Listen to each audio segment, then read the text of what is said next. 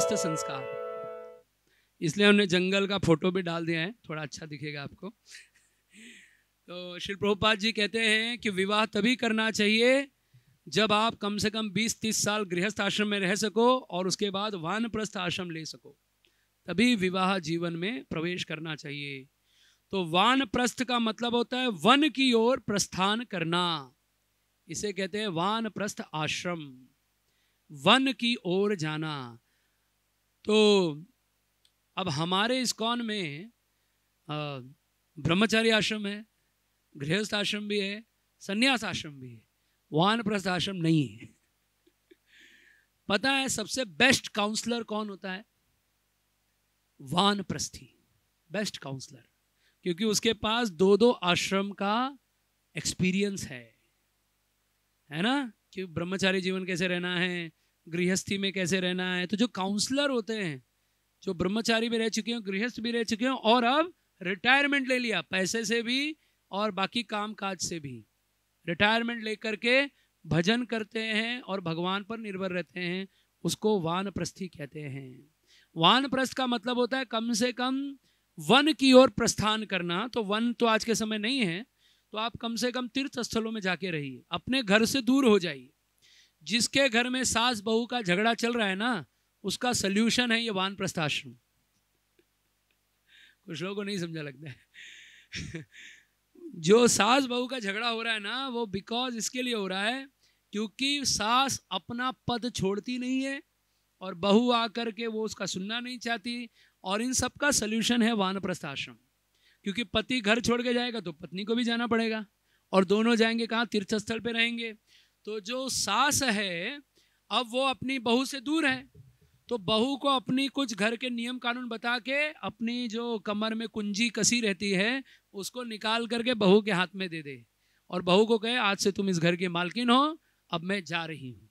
तो बहू भी हमेशा सास की सेवा करने के लिए तत्पर रहेगी अब यहाँ सास दिन भर ऐसे लेके खड़ी रहेगी। हम लोग तो कहते हैं, सास वही जो बहू को सांस ना लेने दे। तो सास बहू का जो झगड़ा है वो भी बंद हो सकता है और पिता पुत्र में जो झगड़े होते हैं, वो भी बंद हो सकते हैं केवल वान प्रस्थ आश्रम से। देखिए रिटायरमेंट लेने में कंजूसी नहीं करना चाहिए। रिटायरमेंट ले लेना चाहिए। पचास साल में, इसलिए पच्चीस वर्ष में विवाह करो ताकि पचास साल में वान प्रस्थ की ओर चले जाओ। क्यों? क्योंकि शरीर में क्षमता रहेगी, तभी ना हम तीर्थस्थल पर रह पाएँगे। तीर्थ यात्रा कर पाएँगे। आप में चलने की हिम्मत नहीं है तो आप कहाँ से आप यात्रा करोगे? बुढ़ापे में थोड़ी यात्रा होती है। यात्रा शक्ति जब सामर्थ्य होता है तभी होती है। लोग बुढ़ापे में यात्रा करते बुढ़ापे में यात्रा नहीं होती। बुढ़ापे में एक जगह बैठ के भजन होता है। तो इसलिए यात्रा करना है तो जब क्षमता हो तभी कीजिए। तो पचास या पचपन वर्ष की आयु में वानप्रस्थ आश्रम स्वीकार करना चाहिए। तो जो बेस्ट काउंसलर मैंने कहा, वो है वानप्रस्थी। तो वे क्या करते हैं? समाज को गाइड करते हैं कि हाँ गृहस्थी में कैसे रहना चाहिए। अब वो 25 साल जिसने गृहस्थ आश्रम को देखा है सुना है और लोगों को हेल्प किया है उसका अनुभव और एक नए व्यक्ति का अनुभव में कितना अंतर होगा? और वो जो आपको बहुत सस्ते में सरल भाषा में समझा देगा वो बड़े बड़े लोग बड़ी बड़ी आ, आ, शास्त्र वेद का ज्ञान लेकर के भी आपको नहीं समझा पाएँगे। क्योंकि वो जो बताएँगे, वो अनुभव ज़्यादा है। एक्सपीरियंस मैटर एक्सपीरियंस बहुत मैटर करता है। तो इसके लिए वानप्रस्थी व्यक्ति बहुत महत्वपूर्ण है। और शास्त्रों में कहा गया है, आप हिंदी की गिनती गिनते हैं? पचास के बाद कौन सा नंबर आता है? फिर फिर फिर फिर फिर, सत्तावन, अट्ठावन वन वन वन। वन का मतलब है, वन में जाओ। अगर आप जंगल नहीं जाओगे तो उनशट, शट शट मतलब संस्कृत में गाली है, कि शट है, हा? तो वैसे अगर आप अपने आप को रिटायरमेंट नहीं करोगे तो शास्त्र भी गाली देता है उन शट शट एक शट। तो शट है वो व्यक्ति, शट मतलब थर्ड क्लास आदमी। क्या आदमी है अभी तक इधर ही बैठा हुआ है? जंगल में जाना चाहिए। तो वान प्रस्थ उसे कहते हैं। और आगे आप पढ़िए। उनहत्तर, सत्तर, इकहत्तर, बहत्तर, तिहत्तर, चौहत्तर, तर तर तर। तो पचहत्तर वर्ष में संन्यास लेना चाहिए ताकि हम तर जाएँ। तो हमारा नॉर्मल्स गिनती भी हमें शिक्षा देती है कि आप इसके हिसाब से आयु जीना चाहिए। तो हमें वानप्रस्थ आश्रम लेना चाहिए। वान रिटायरमेंट का प्लानिंग करना चाहिए। मैंने पहले भी बताया, अगर आप रिटायरमेंट का प्लानिंग नहीं करते हैं तो आपके जीवन में आप, बोलते हैं ना, जब युधिष्ठिर महाराज पूरा महाभारत संपन्न हो गया था तो धृतराष्ट्र को वहाँ पर अपने पास ही रख करके उनकी सेवा करते थे। वो बोलते थे कि हमने ही आपके पुत्रों को मारा है, लेकिन उसके लिए हम कुछ कर नहीं पाए, लेकिन कम से कम आपकी सेवा करके उसका प्रायश्चित करेंगे। तो जब विदुर महाराज आए तो उन्होंने क्या देखा? एक दृश्य देखा। और क्या दृश्य देखा है धृतराज जो था, वो भीम को बाद में आया ना तो गले लगा रहा था तो मारने जा रहा था। तो भीम को तो बहुत गुस्सा था, लेकिन युधिष्ठिर महाराज की वजह से कुछ बोल नहीं सकते थे। बड़े भाई का आज्ञा था। तो वो सेवा करते थे तो उनको बोलते थे, अरे, चावल लेंगे चावल लेंगे? तो ऐसे उल्टा डालते थे, ऐसे। ये पिंडदान जब करते हैं तो ऐसे उल्टा देते हैं। तो इसलिए जब आप कभी सर्व करते हो तो कोई ऐसे और ऐसे नहीं देना चाहिए। ऐसे मरे हुए व्यक्ति को दिया जाता है। तो दाल देते थे तो युधिष्ठ, भीम बोलते थे अरे महाराज, थोड़ा सा दाल लेंगे? तो ऐसे उल्टा गिरा थे। तो ये दृश्य विदुर जी ने देखा तो बोले, अरे क्या कुत्ते के जैसा रोटी खा रहे हो तुम लोग? ऐसा वर्ड बोला है भागवतम में। क्या कुत्ते के जैसा रोटी खा रहे हो? तुम लोगों को सब छोड़ करके जाना चाहिए, वानप्रस्थ लेना चाहिए, तुम यहाँ बैठे हो। इतना तुमने लालच किया, कुछ मिला नहीं, और अभी भी फिर भी इधर ही टिके हुए हो। तो रिटायरमेंट लेना चाहिए। जिस आसन पे बैठ गए, उसको छोड़ने की भी क्षमता रखनी चाहिए। हाँ लेकिन लोगों को बैठने की क्षमता तो है उतरने की क्षमता नहीं है। हाँ कुर्सी नहीं छूटता किसी से। छोड़ने के लिए प्रयास करना पड़ता है। इसके लिए समय समय पर साधु बह, साधु चलता भला, पानी बहता भला। तो जो व्यक्ति स्थान को त्याग करेगा, उसकी गति बढ़ेगी। जो व्यक्ति एक ही स्थान पर बैठा रहेगा उसकी प्रगति नहीं होगी। हमारा शरीर भी एक जैसा नहीं रहता, बदलता रहता है, कभी बढ़ेगा कभी घटेगा, कभी वज़न बढ़ेगा, कभी वज़न घटेगा। सब कुछ बढ़ता, घटता रहता है। उसी प्रकार हमारे जीवन में भी हमेशा बदलाव होते रहने चाहिए। कंटिन्यू एक ही लाइफ लेकर के नहीं जीना चाहिए। कि अब हम तो बस ऐसे ही चलेंगे। हमें बस एक ही चीज़ देखना है, हमारी कृष्ण भक्ति में कहीं कमज़ोरी नहीं आनी चाहिए। यही हमारा कॉन्स्टेंट होना चाहिए। बाकी हमेशा हर चीज़ में बदलाव होना चाहिए। एक ही कपड़ा रोज पहनेंगे अच्छा लगेगा। हाँ? या एक ही भोजन रोज खाएँगे तो अच्छा लगेगा। या एक ही जगह रोज बैठे रहेंगे, चलेगा क्या? थोड़ा तो घूमने के लिए मिलना चाहिए ना वातावरण। हम लोग क्यों यात्रा वगैरह करते हैं? इसके लिए नहीं कि हम लोग बस घूमने जाते हैं। साथ ही साथ हम स्थान को परिवर्तन करने से हमें में, हमारे अंदर में भी वो वैराग्य आता है। इसके लिए परिवर्तन करने के लिए लोग भ्रमण करते हैं। और ये भ्रमण बहुत महत्वपूर्ण है। इसके लिए रिटायरमेंट बहुत इंपॉर्टेंट है। आपको पता है बहुत सारे ऐसे ऐसे व्यापारी हैं जिन्होंने बहुत कम आयु में उनको धन कमाना था तो बहुत कमाया और धन कमाने के बाद रिटायरमेंट भी बहुत जल्दी ले लिया। है ना? सुना होगा आप लोगों ने। मैं नाम इसलिए नहीं लेता हूँ क्योंकि जो मांसाहारी हों और विशेषकर जो गौ मांस खाने वाले उनका क्या नाम लेना? हाँ उनका उनका ऐसे व्यासपीठ पे उनका नाम लेने से उनकी शुद्धि हो जाएगी। तो क्यों ऐसा करना है इनको? तो मैं नाम नहीं ले रहा हूँ, लेकिन बता रहा हूँ, एक आध प्रकार का उन्होंने एग्ज़ाम्पल क्रिएट किया हुआ है समाज में, और जो बहुत अच्छा है, वो ये है कि रिटायरमेंट लिया है उन लोगों ने। अपने समय के अनुसार रिटायरमेंट ले लेना चाहिए। आप समाज का भला करने का अपने आयु भर प्रयास कीजिए, लेकिन एक समय के बाद रिटायरमेंट ले लीजिए। अन्यथा समाज में शांति नहीं बनेगी। जो भी व्यक्ति, देखिए ये मृत्यु भी इसलिए बना है। आप सोचिए कि अगर कोई मरे ही नहीं तो क्या होगा? आपके दादा, परदादा परदादा के परदादा सब घर में बैठे हैं। खांसी मार रहा है, कोई उल्टी कर रहा है, कोई बेड पे पड़ा है। क्या क्या सोचोगे आप? क्या सोचोगे? क्या कहोगे भगवान को गोपीनाथ मंदिर आने के बाद? भगवान, इनको और लंबी आयु दो। तब बोले, भगवान, आपके पास भी बुलाइए, इनको बहुत दिनों से वेट कर रहे एक माता जी ने हमें एक बार फ़ोन किया। बोले, प्रभु जी ऐसा ऐसा है, हमारी माता जी को बहुत आयु हो गया सौ के ऊपर चली गई हैं। हम ऐसा तो नहीं चाहते, लेकिन उनकी स्थिति देख करके हम कुछ कर सकते हैं क्या? मतलब वो इनडायरेक्टली बोल रही थी कि, साहब तो तो अब क्या कहेंगे फिर ब्राह्मण तो ब्राह्मण भाई, सब लोग का भला करना पड़ता है। तो हमने ऐसा कुछ नहीं किया कि तो हमने उनको कहा कि आप भगवान से प्रार्थना कीजिए, भगवान उनके योग्य, जिसका जब समय आता है, भगवान उसको ले लेते हैं।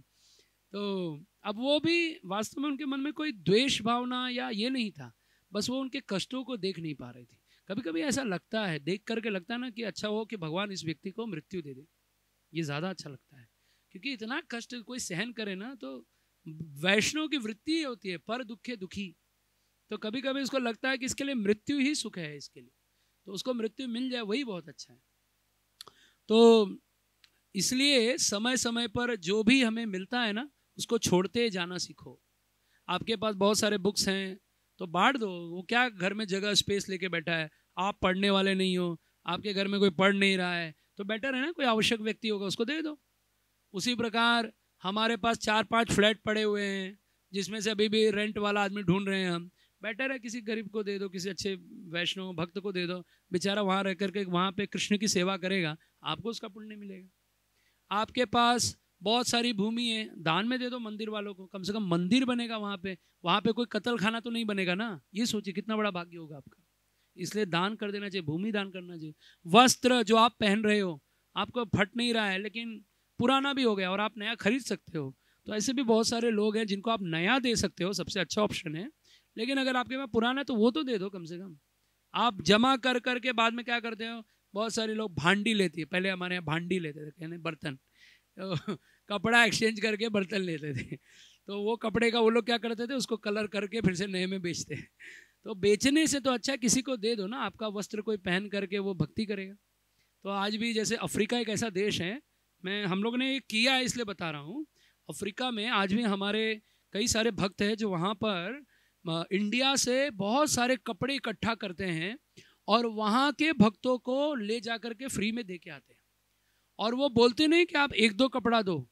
आप जितने कपड़े इकट्ठा करके दे सकते हो, कोई भी बच्चे के हो, बूढ़े के हो, जवान के हो, धोती हो, कुर्ता हो, साड़ी हो टी शर्ट हो जीन्स हो, कुछ भी हो, आप सब दे दीजिए, वो लोग सब पहनने के लिए तैयार है। इतनी गरीबी है वहाँ पर। वहाँ ऐसा कपड़ा लोग खोल के ऐसे रख के जाते हैं, सब आके अपने हिसाब से पहनते हैं और लेके चले जाते हैं। वो सालों साल वो कपड़े पहनते हैं। वहाँ इतनी गरीबी है। यानी वो क्यों गरीबी उसका भी एक कारण है।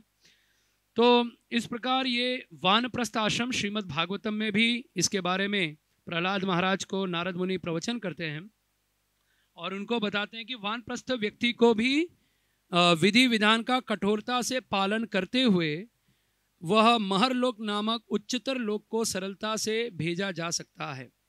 वानप्रस्थ आश्रम में रहने वाला व्यक्ति को जुती हुई ज़मीन में उगा अन्न नहीं खाना चाहिए। अब ये हेल्थ के हिसाब से भी बहुत इंपॉर्टेंट है। पचास वर्ष के बाद ज़्यादा पका हुआ भोजन नहीं खाना चाहिए, क्योंकि उसका डाइजेशन सिस्टम इतना स्ट्रांग नहीं होता है। ये नो डाउट कि आपका डाइजेशन सिस्टम अगर अच्छा है तो अच्छी बात है, लेकिन जितना हो सके उसे आहार में ये लाना चाहिए, उसमें कुछ नियम लगाने चाहिए। उसे बिना जीती हुई ज़मीन से उगे हुए अन्न उगे हुए अन्न को भी नहीं खाना चाहिए, जो पूरी तरह पके ना हो। ना ही वानप्रस्थ को अग्नि में पका हुआ अन्न खाना चाहिए। निसंदेह उसे सूर्य प्रकाश के, सूर्य प्रकाश में पके फल ही खाने चाहिए। ये मैंने सिर्फ़ अनुवाद लिखा है, क्योंकि इसमें प्रभुपा जी का कोई तात्पर्य नहीं है। तो इसमें हम लोग कुछ बोल, बोले नहीं है। लेकिन प्रभुपा जी ने ये अवश्य कहा है कि वानप्रस्थ आश्रम में जाना चाहिए। तो ये प्रैक्टिकली इतना तो हम लोग पढ़ के ही डर जाते हैं। कि बिना अग्नि में पका हुआ और अच्छा फल भी पक के गिर जाना चाहिए। ऐसा नहीं कि पक गया तो चलो इसको तोड़ के खाते हैं, ऐसा नहीं है। पक के गिर जाए और अग्नि नहीं जलानी है, इतना कठोरता से पालन करना चाहिए। और इसमें आगे भी लिखा हुआ है, ये श्रीमद् भागवतम के सातवें स्कंद के बारहवें अध्याय का सत्रह, अठारह, उन्नीस, बीस आगे पढ़ेंगे तो उसमें लिखा हुआ है कि व्यक्ति को कम से कम पाँच वर्ष तीन वर्ष या कम से कम एक वर्ष जंगल में बिता के आना चाहिए। उसी को वानप्रस्थ कहते हैं। ये हमारे सत्क्रिय सारदीपिका में वानप्रस्थ आश्रम के बारे में नहीं लिखा गया। पर ये चूँकि ये चारों वर्णाश्रम में ये आश्रम की व्यवस्था है और आश्रम में भी ये संस्कार भी इसके कहीं कहीं लिखे गए हैं, कराने चाहिए। हमारे हमारे सत्क्रिय सारदीपिका में नहीं लिखा है, पर ये श्रीमद् भागवतम में लिखा हुआ है। सुखदेव गोस्वामी बोल रहे हैं इसके ऊपर। इसलिए मैंने इस चीज़ को ऐड किया हुआ है और ये एक संस्कारों में भी गिना जाता है। मैं फिर बता रहा हूँ कि सतगृह सार दीपिका में नहीं लिखा हुआ है। पर ये हमारे यहाँ वानप्रस्थ का जो जगह है, वो जो गैप है, उसका फुलफिलमेंट कौन कर रहा है पता है?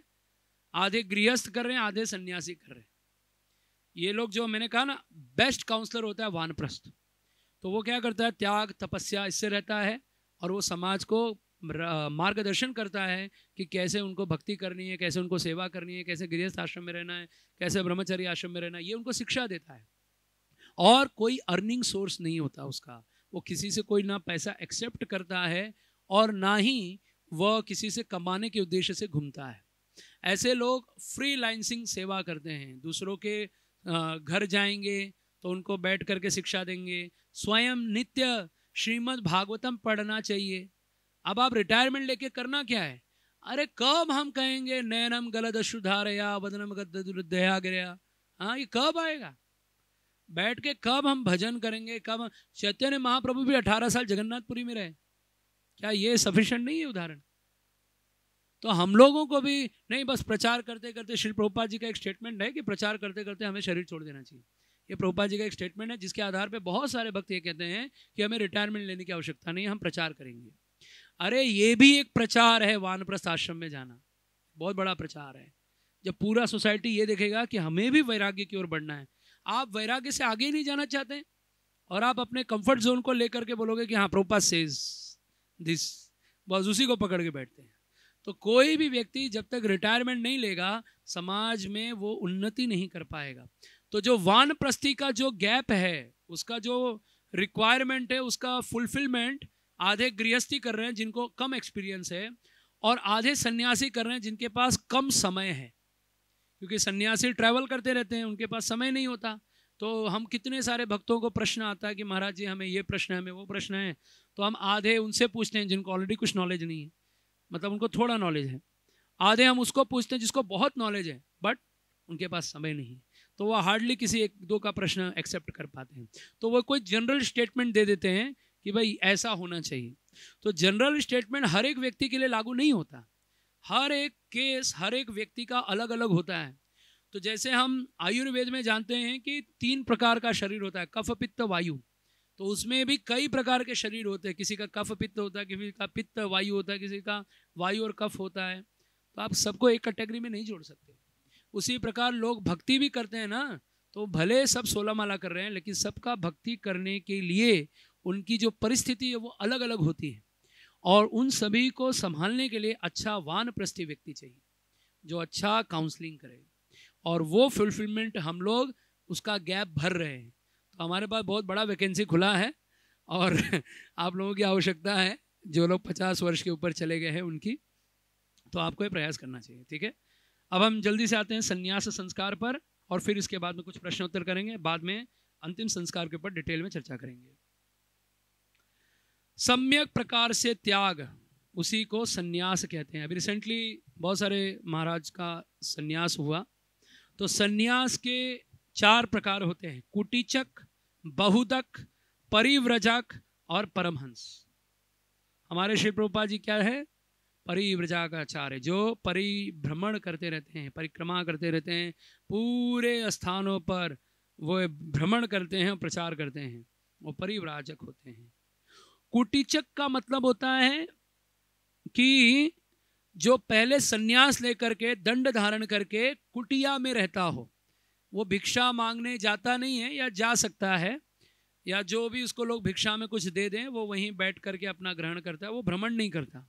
सन्यास का कैटेगरी ऐसा नहीं कि डायरेक्ट सब घूमते रहते हैं। पहला कैटेगरी होता है कि वो किसी एक स्थान पर रह करके और वहाँ पर सन्यास का प्रैक्टिस करता है। तो पहले होता है कुटीचक, फिर होता है बहुदक। बहुदक मतलब होता है ट्रैवल करके, भिक्षा मांग करके अपने सन्यास जीवन का पालन करता है। उसको कहते हैं बहुदक। और परिव्राजक का मतलब होता है कि पूरे समाज में भ्रमण करता है, पूरे संसार में भ्रमण करता है और लोगों में भगवान का, इन सब का प्रचार करता रहता है। उसको परिव्राजक कहते हैं। और परमहंस निर्वाण को प्राप्त होते हैं। उनके लिए कोई स्त्री पुरुष नहीं है, उनके लिए दिन रात नहीं है, उनके लिए भोजन, पानी सब एक ही है। कहते हैं सन्यास का भोजन कैसा होना चाहिए? सन्यासी का भोजन ऐसा होता है कि जैसे मान लीजिए सन्यासी को आपने छप्पन भोग दिया तो वो ऐसा रुमाल लेगा, उसको ऐसा रखेगा। अब इसमें आप पनीर डालो, रसमलाई डालो, पूरी डालो हाँ जो भी अच्छे अच्छे आइटम डालो, वो डालने के बाद वो क्या करेंगे? इसको ऐसे पूरा यहाँ यहाँ ऐसे करके चारों ओर से पकड़ लेंगे। फिर बहते हुए पानी में कहते हैं उसको ऐसे तीन बार डुबाना और फिर उसको ऐसे गार देना। ठीक है? अब उसके बाद में इसको खोलना और फिर उसको पाना। उसको कहते हैं संन्यास। मतलब इतना वैराग्य कि आप कुछ भी दे दो, वो सब में उसमें कोई भेदभाव नहीं करते। संन्यास का एक प्रकार का अर्थ होता है मृत्यु। या शरीर को मार देना, उसको सन्यास कहते हैं। तो संन्यास, सन्यासी व्यक्ति वही ले सकता है जिसमें त्याग की भावना सर्वोत्कृष्ट हो। अगर कोई परिवार से निकाल दिया गया हो या समय का मारा हो तो भैया कुछ नहीं कर सकते, चलो सन्यासी बन जाते हैं। ऐसे लोगों को सन्यास नहीं लेना चाहिए। सन्यासी उसको लेना चाहिए जिसमें वैराग्य की कामना तीव्रता पर हो। कामना मतलब वैराग्य की भावना बहुत बड़ी हो।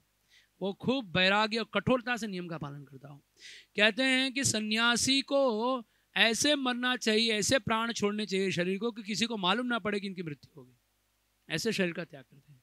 और सन्यासी को जलाया नहीं जाता है, उसको भूमि में गाड़ा जाता है। ठीक है? और सन्यासी जो होते हैं, उनको आचमन करने की आवश्यकता नहीं होती। एक बार मैं परम पूज्य राधानाथ स्वामी महाराज जी को आचमन कराने के लिए लेके गया तो मैं नया नया था। तो मुझे पता नहीं कि सन्यासी भी आचमन नहीं करते।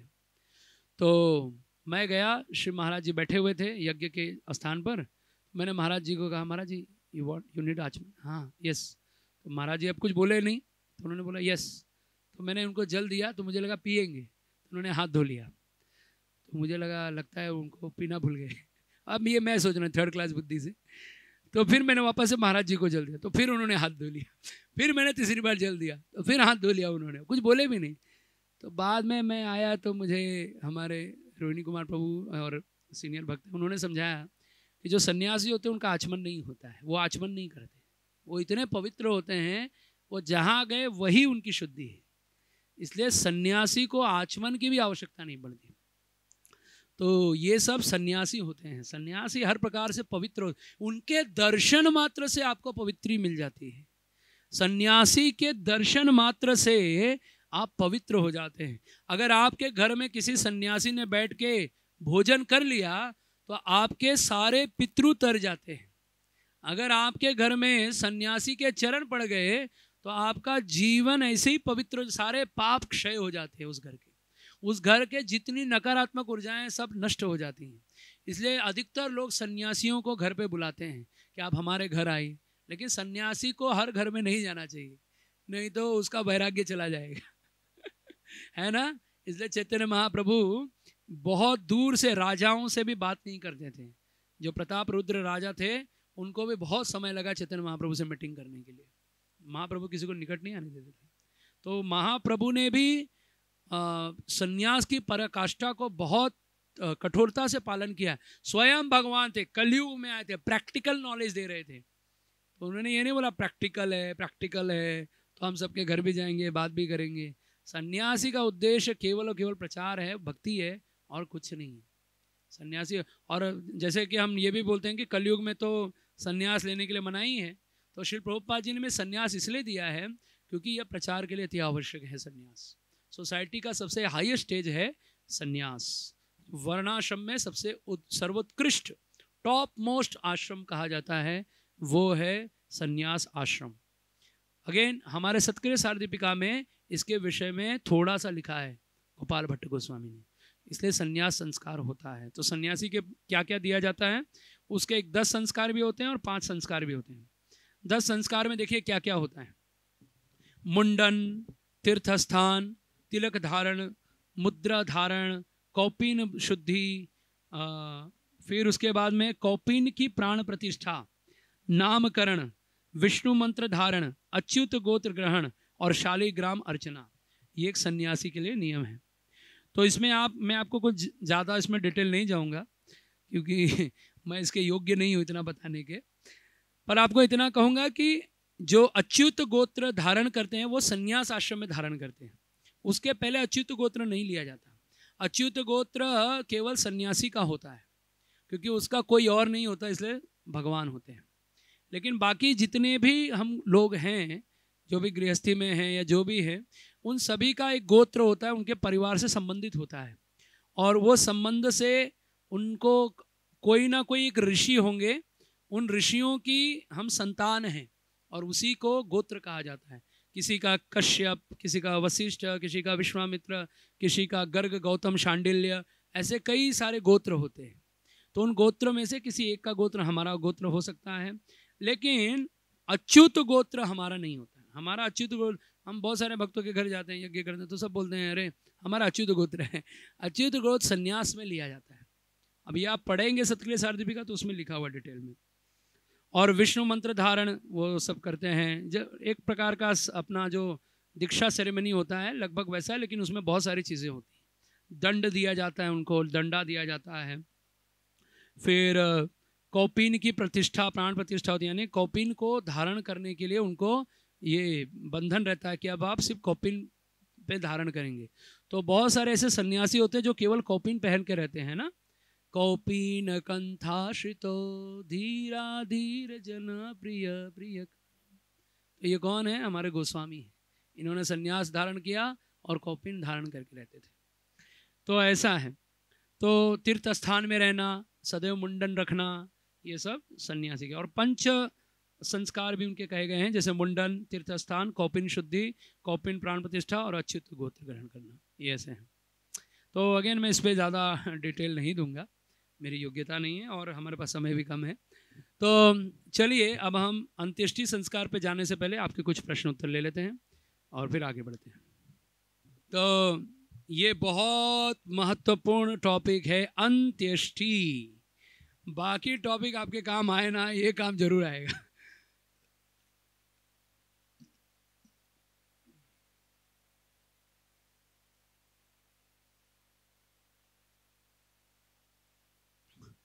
अंत्येष्टि का अर्थ होता है कि अंत्य का मतलब होता है अंतिम इष्टि का मतलब होता है यज्ञ इष्टि।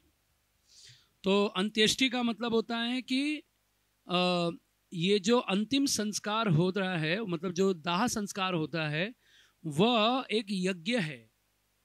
वो केवल जलाना ऐसा नहीं है। वो एक यज्ञ है वो एक आहुति देने जा रहे हैं।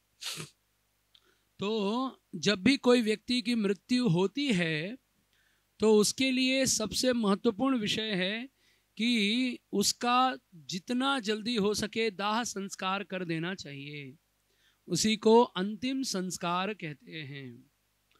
क्यों दाह संस्कार तुरंत कर देना चाहिए? क्योंकि यमराज की जो, यमराज जी का जो मुख है, उसमें एक अग्नि है। और उस अग्नि का नाम है क्रव्यादम अग्नि। क्रव्यदाम। क्रव्यदाम का मतलब होता है मांस खा करके जो अग्नि मांस को खाती है, पचाती है, उसे क्रव्यादम अग्नि कहते हैं।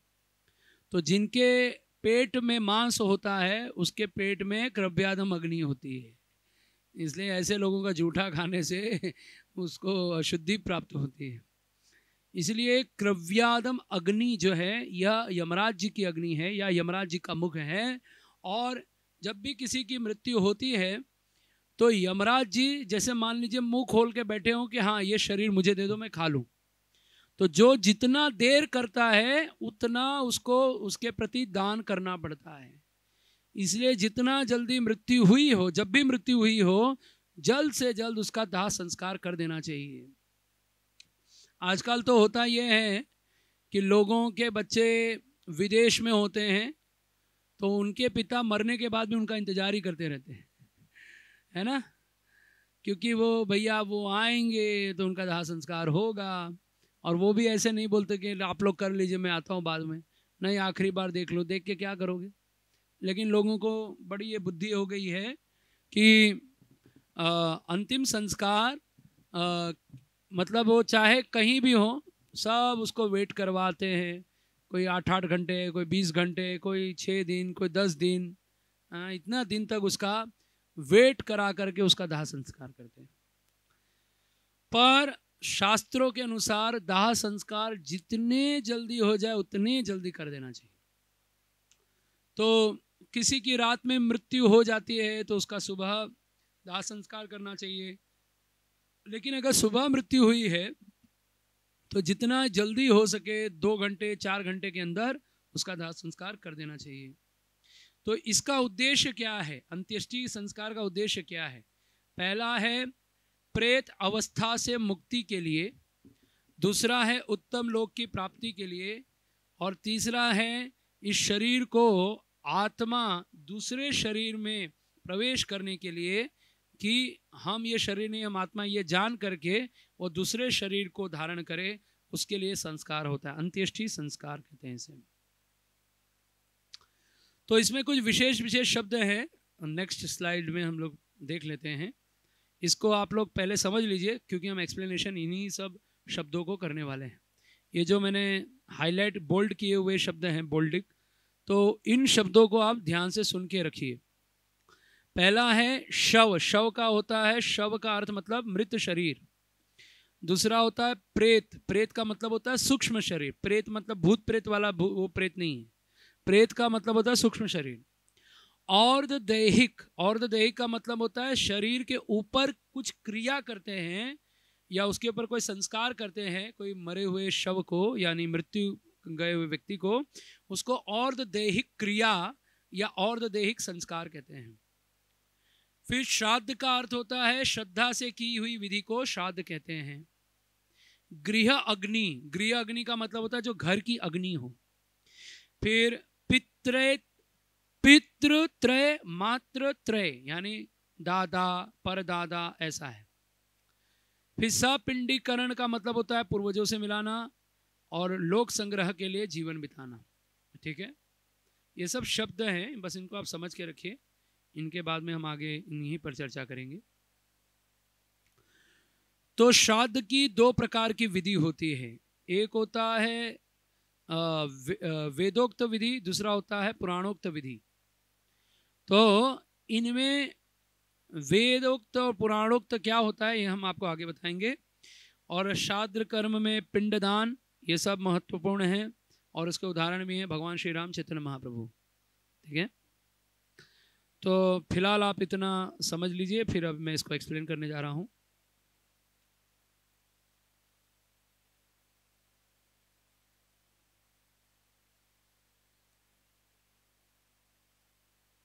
हाँ उसमें दो दो स्लाइड है।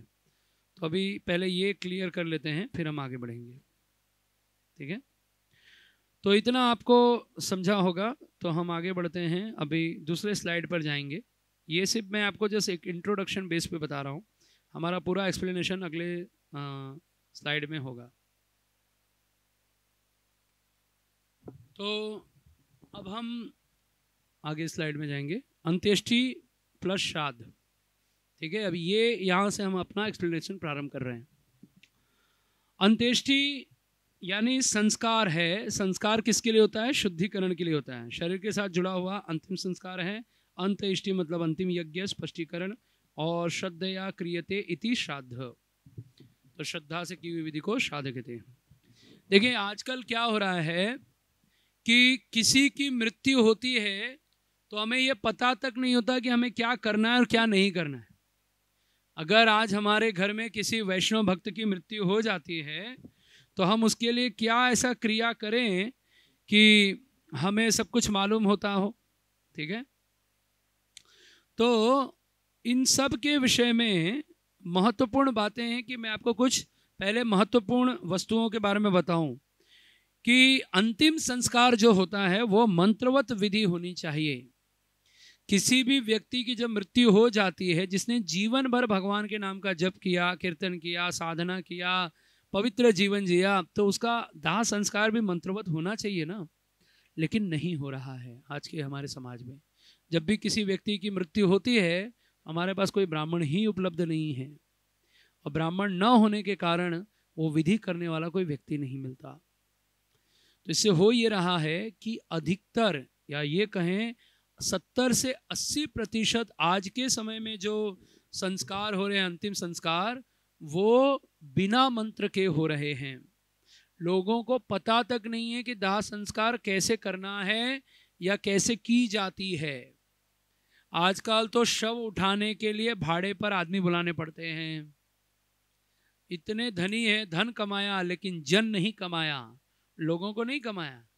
लोगों का संबंध नहीं बनाया। बस अपने अकेले रहे, खाए, पिए, मर गए। और जब उनको शव उठाने का समय आया तो कोई चार व्यक्ति भी खरीद के बुलाने पड़ रहे हैं। सोचिए आप, हमने किया ऐसे। सब है, पैसा भरा पूरा है। लोग नहीं, ना किसी से संबंध है। और ना ही कोई परिवार में ऐसा व्यक्ति है जो लोगों से संबंध बनाता हो अच्छा संबंध रिश्ते और व्यवहार बनाता हो कि लोग उसके लिए आए। जीवन में हर एक कार्य सिर्फ़ पैसों के लिए नहीं करना चाहिए। कुछ कार्य समाज की सेवा के लिए करना चाहिए। और ये समाज आपने अगर उनके लिए अच्छा किया है तो ये लोग भी आपको भूलेंगे नहीं। इसलिए निष्काम सेवा करने की भावना रखिए। केवल धन मत कमाइए, लोगों को भी कमाइए। जितना आप लोगों को जोड़ेंगे, जितना आप लोगों को अपने साथ, अपने जीवन में जोड़ लेंगे, उतना ही आपके जीवन के अंत समय में सभी लोग आपका साथ देते हैं। हम लोग जब जन्म लेते हैं ना तो भी हमारे साथ परिवार होता है। जब मृत्यु होती तो भी हमारे पास परिवार होता है। जिस समय हमारा जन्म हुआ था, उस समय जितने लोग थे ना, वो जो लोग थे ना, वो मृत्यु के समय वो लोग नहीं रहते। पूरे बदल चुके होते हैं। पर वहाँ से लेकर के यहाँ तक के चक्र में ये संसार में आपने कितने अच्छे कर्म किए, कितने अच्छे व्यवहार किए, यही उसका परिणाम स्वरूप है। इसके लिए कितने लोगों की मृत्यु होती है तो इतनी भीड़ उमड़ पड़ती है कि पुलिस को बहुत सारे रूल्स रेगुलेशन निकालने पड़ते हैं कि आप ऐसे जाइए, वहाँ से जाइए, ये मत कीजिए, वो मत कीजिए। क्यों? क्योंकि ये कोई ऐसा व्यक्ति की मृत्यु हुई है जिसने समाज के लिए बहुत बड़ा बड़ा कार्य किया है। ये साधारण व्यक्ति नहीं है।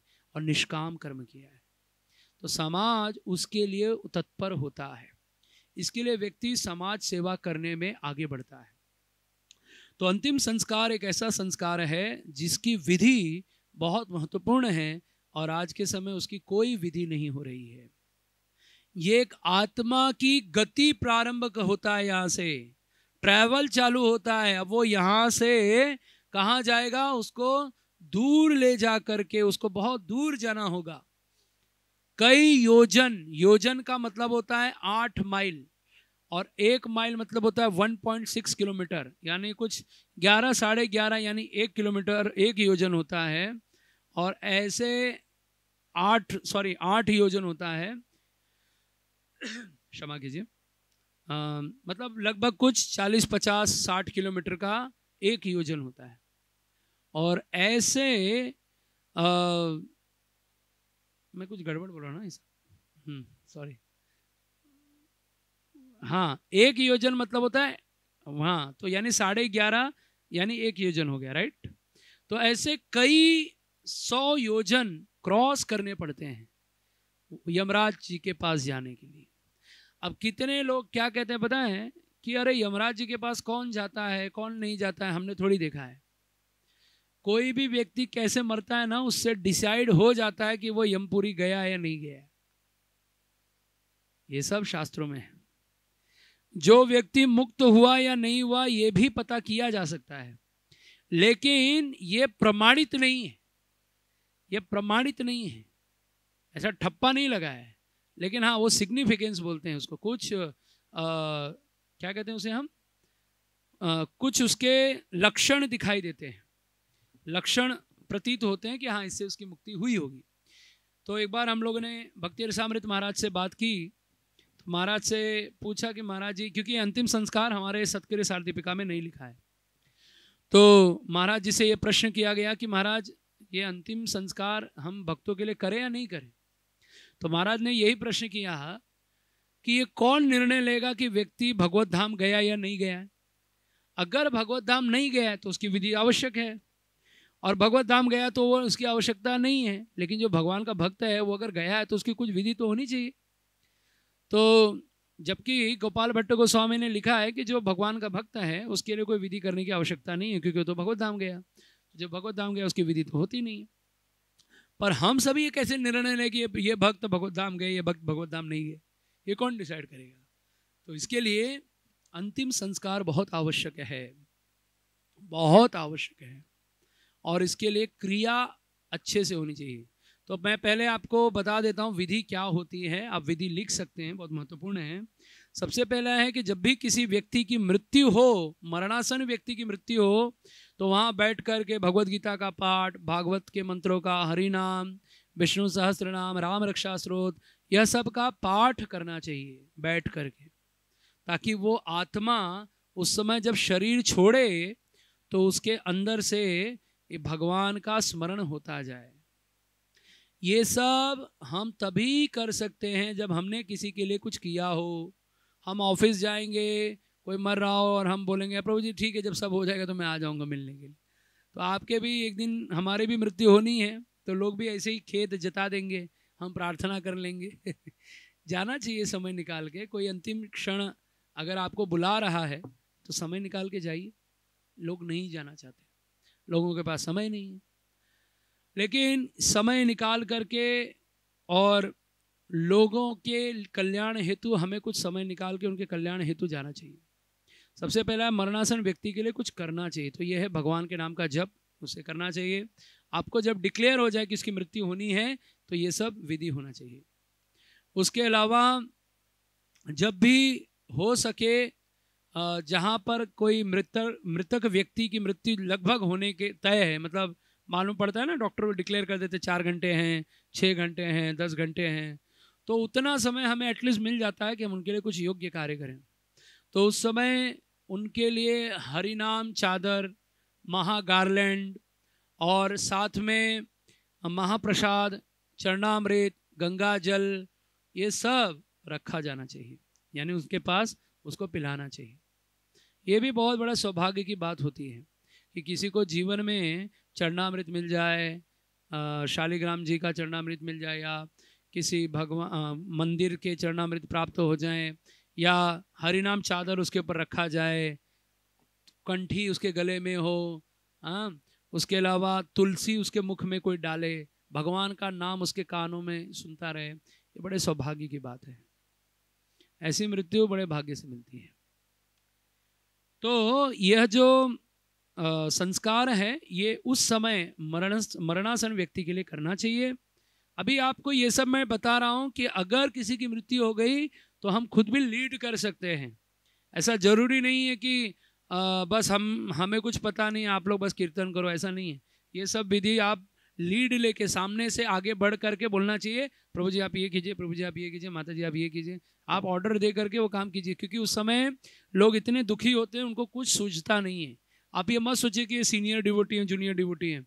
आप जाइए, उनको हेल्प कीजिए, उनकी सहायता कीजिए और वो बड़े प्रसन्न होंगे अगर आप उनके लिए ऐसी सहायता करते हैं तो। इसलिए समय निकाल के जाइए।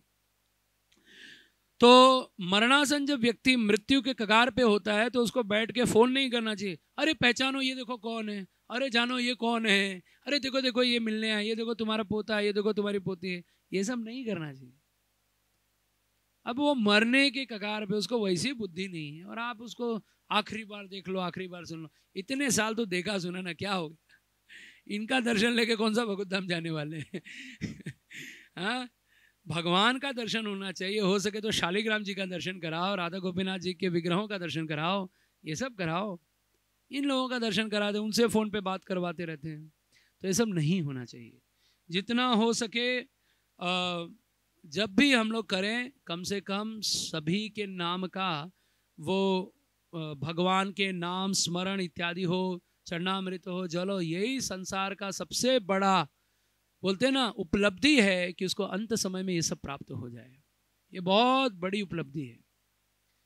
उसके अलावा अगर जब किसी व्यक्ति की मृत्यु हो जाए तो क्या करना है? ये भी महत्वपूर्ण बात है, इसे लिखिए कि पहला है कि अगर कोई पुरुष है तो उसको स्नान करा करके, अच्छे से स्त्री है तो उसको स्नान करा करके उनको नए वस्त्र धारण कराने चाहिए, नए वस्त्र। पुरुष है तो उसको धोती, कुर्ता या आजकल कुर्ता पैजामा पहनाते हैं लोग तो वो भी ठीक है, लेकिन पैंट शर्ट तो नहीं पहनाना चाहिए। ठीक है? और स्त्री है, यदि सुहागन स्त्री है तो सुहागन स्त्री को चाहिए कि वो उसको श्रृंगार करके उसका दाह संस्कार हो। सुहागन स्त्री की यदि मृत्यु हो जाए तो उसको पूरा मांग में सिंदूर, लाल साड़ी या हरा साड़ी ऐसा पहना सकते हैं और साथ ही उसको पूरा श्रृंगार करके उसको विदाई देनी चाहिए। और यदि विधवा स्त्री हो तो उसको सफ़ेद साड़ी पहना करके उसकी विदाई करनी चाहिए। इन सभी के ऊपर आप हरिनाम चादर रख सकते हैं। हरिनाम चादर यदि जलाना चाहे तो जला भी सकते हैं। इसमें कोई प्रश्न नहीं है। क्योंकि बहुत सारे भक्तों का प्रश्न होता है कि हमने हरिनाम चादर लगाए तो है, अब क्या करें, उसको उतारें कि नहीं उतारें? क्योंकि उतारेंगे तो वो अशुद्ध है और नहीं उतारते हैं तो हरिनाम जलाना ये भी ठीक नहीं लगता है। पर ऐसा नहीं है। वो हरिनाम है और वो भगवान की कृपा है, हरिनाम चादर जलाया जा सकता है। कुछ भक्त लोग फिर भी नहीं जलाते हैं तो वो उनका चॉइस है, कोई बात नहीं, लेकिन जलाया जा सकता है। लेकिन ये सिर्फ़ भक्त के लिए बोल रहा हूँ। कोई वैष्णव वृत्ति नहीं है उसके जीवन में, और हम उसके ऊपर हरिनाम चादर डाल के जलाएँगे तो ठीक नहीं है। ये सिर्फ़ वैष्णव के लिए बता रहा हूँ। हाँ यदि कोई और व्यक्ति है तो आप नॉर्मल उसके ऊपर सादा कपड़ा, भगवान का अर्पण किया महाप्रसाद जैसा कोई कपड़ा, वो रख करके जला सकते हैं, लेकिन हरिनाम नहीं। देखिए, जलाना ये कोई शब्द नहीं है, वास्तव में। ये अग्नि को दान कर रहे हैं मतलब आहुति दे रहे हैं। तो आहुति हम क्या करते हैं? भगवान को अर्पण किया हुआ महाप्रसाद भी अग्नि में अर्पण करते हैं। तो भगवान ने ऑलरेडी खाया है और अग्नि में भी उनको खिला रहे हैं। क्यों खिला रहे हैं? क्योंकि वो भगवान का दिया हुआ प्रसाद है। तो कभी कभी अन्य देवताओं को देने के लिए महाप्रसाद का प्रयोग होता है। उसी प्रकार हरिनाम चादर जो है, वो वैष्णवों के लिए प्रयोग होता है। उसी प्रकार कंठी माला भी आप जला सकते हैं। गले में जो कंठी है, उसको निकालने की आवश्यकता नहीं है। तुलसी जो होती है ना, सूखी तुलसी जलाई जा सकती है। हम लोग यज्ञ में भी सूखी तुलसी को अग्नि में आहुति देते हैं। तो सूखी तुलसी जला सकते हैं। तुलसी का जप माला हो तो उसको जला भी सकते हैं या रख भी सकते हैं, उनकी याद में। आपके ऊपर निर्भर करता है। जिसकी मृत्यु हो जो वैष्णव है, उनके मस्तक पर तिलक या हो सके बारह स्थानों पर तिलक करना चाहिए। माता जी प्रभु जी कोई भी हो, उनके लिए तिलक करना बहुत आवश्यक है। तो ये करना चाहिए।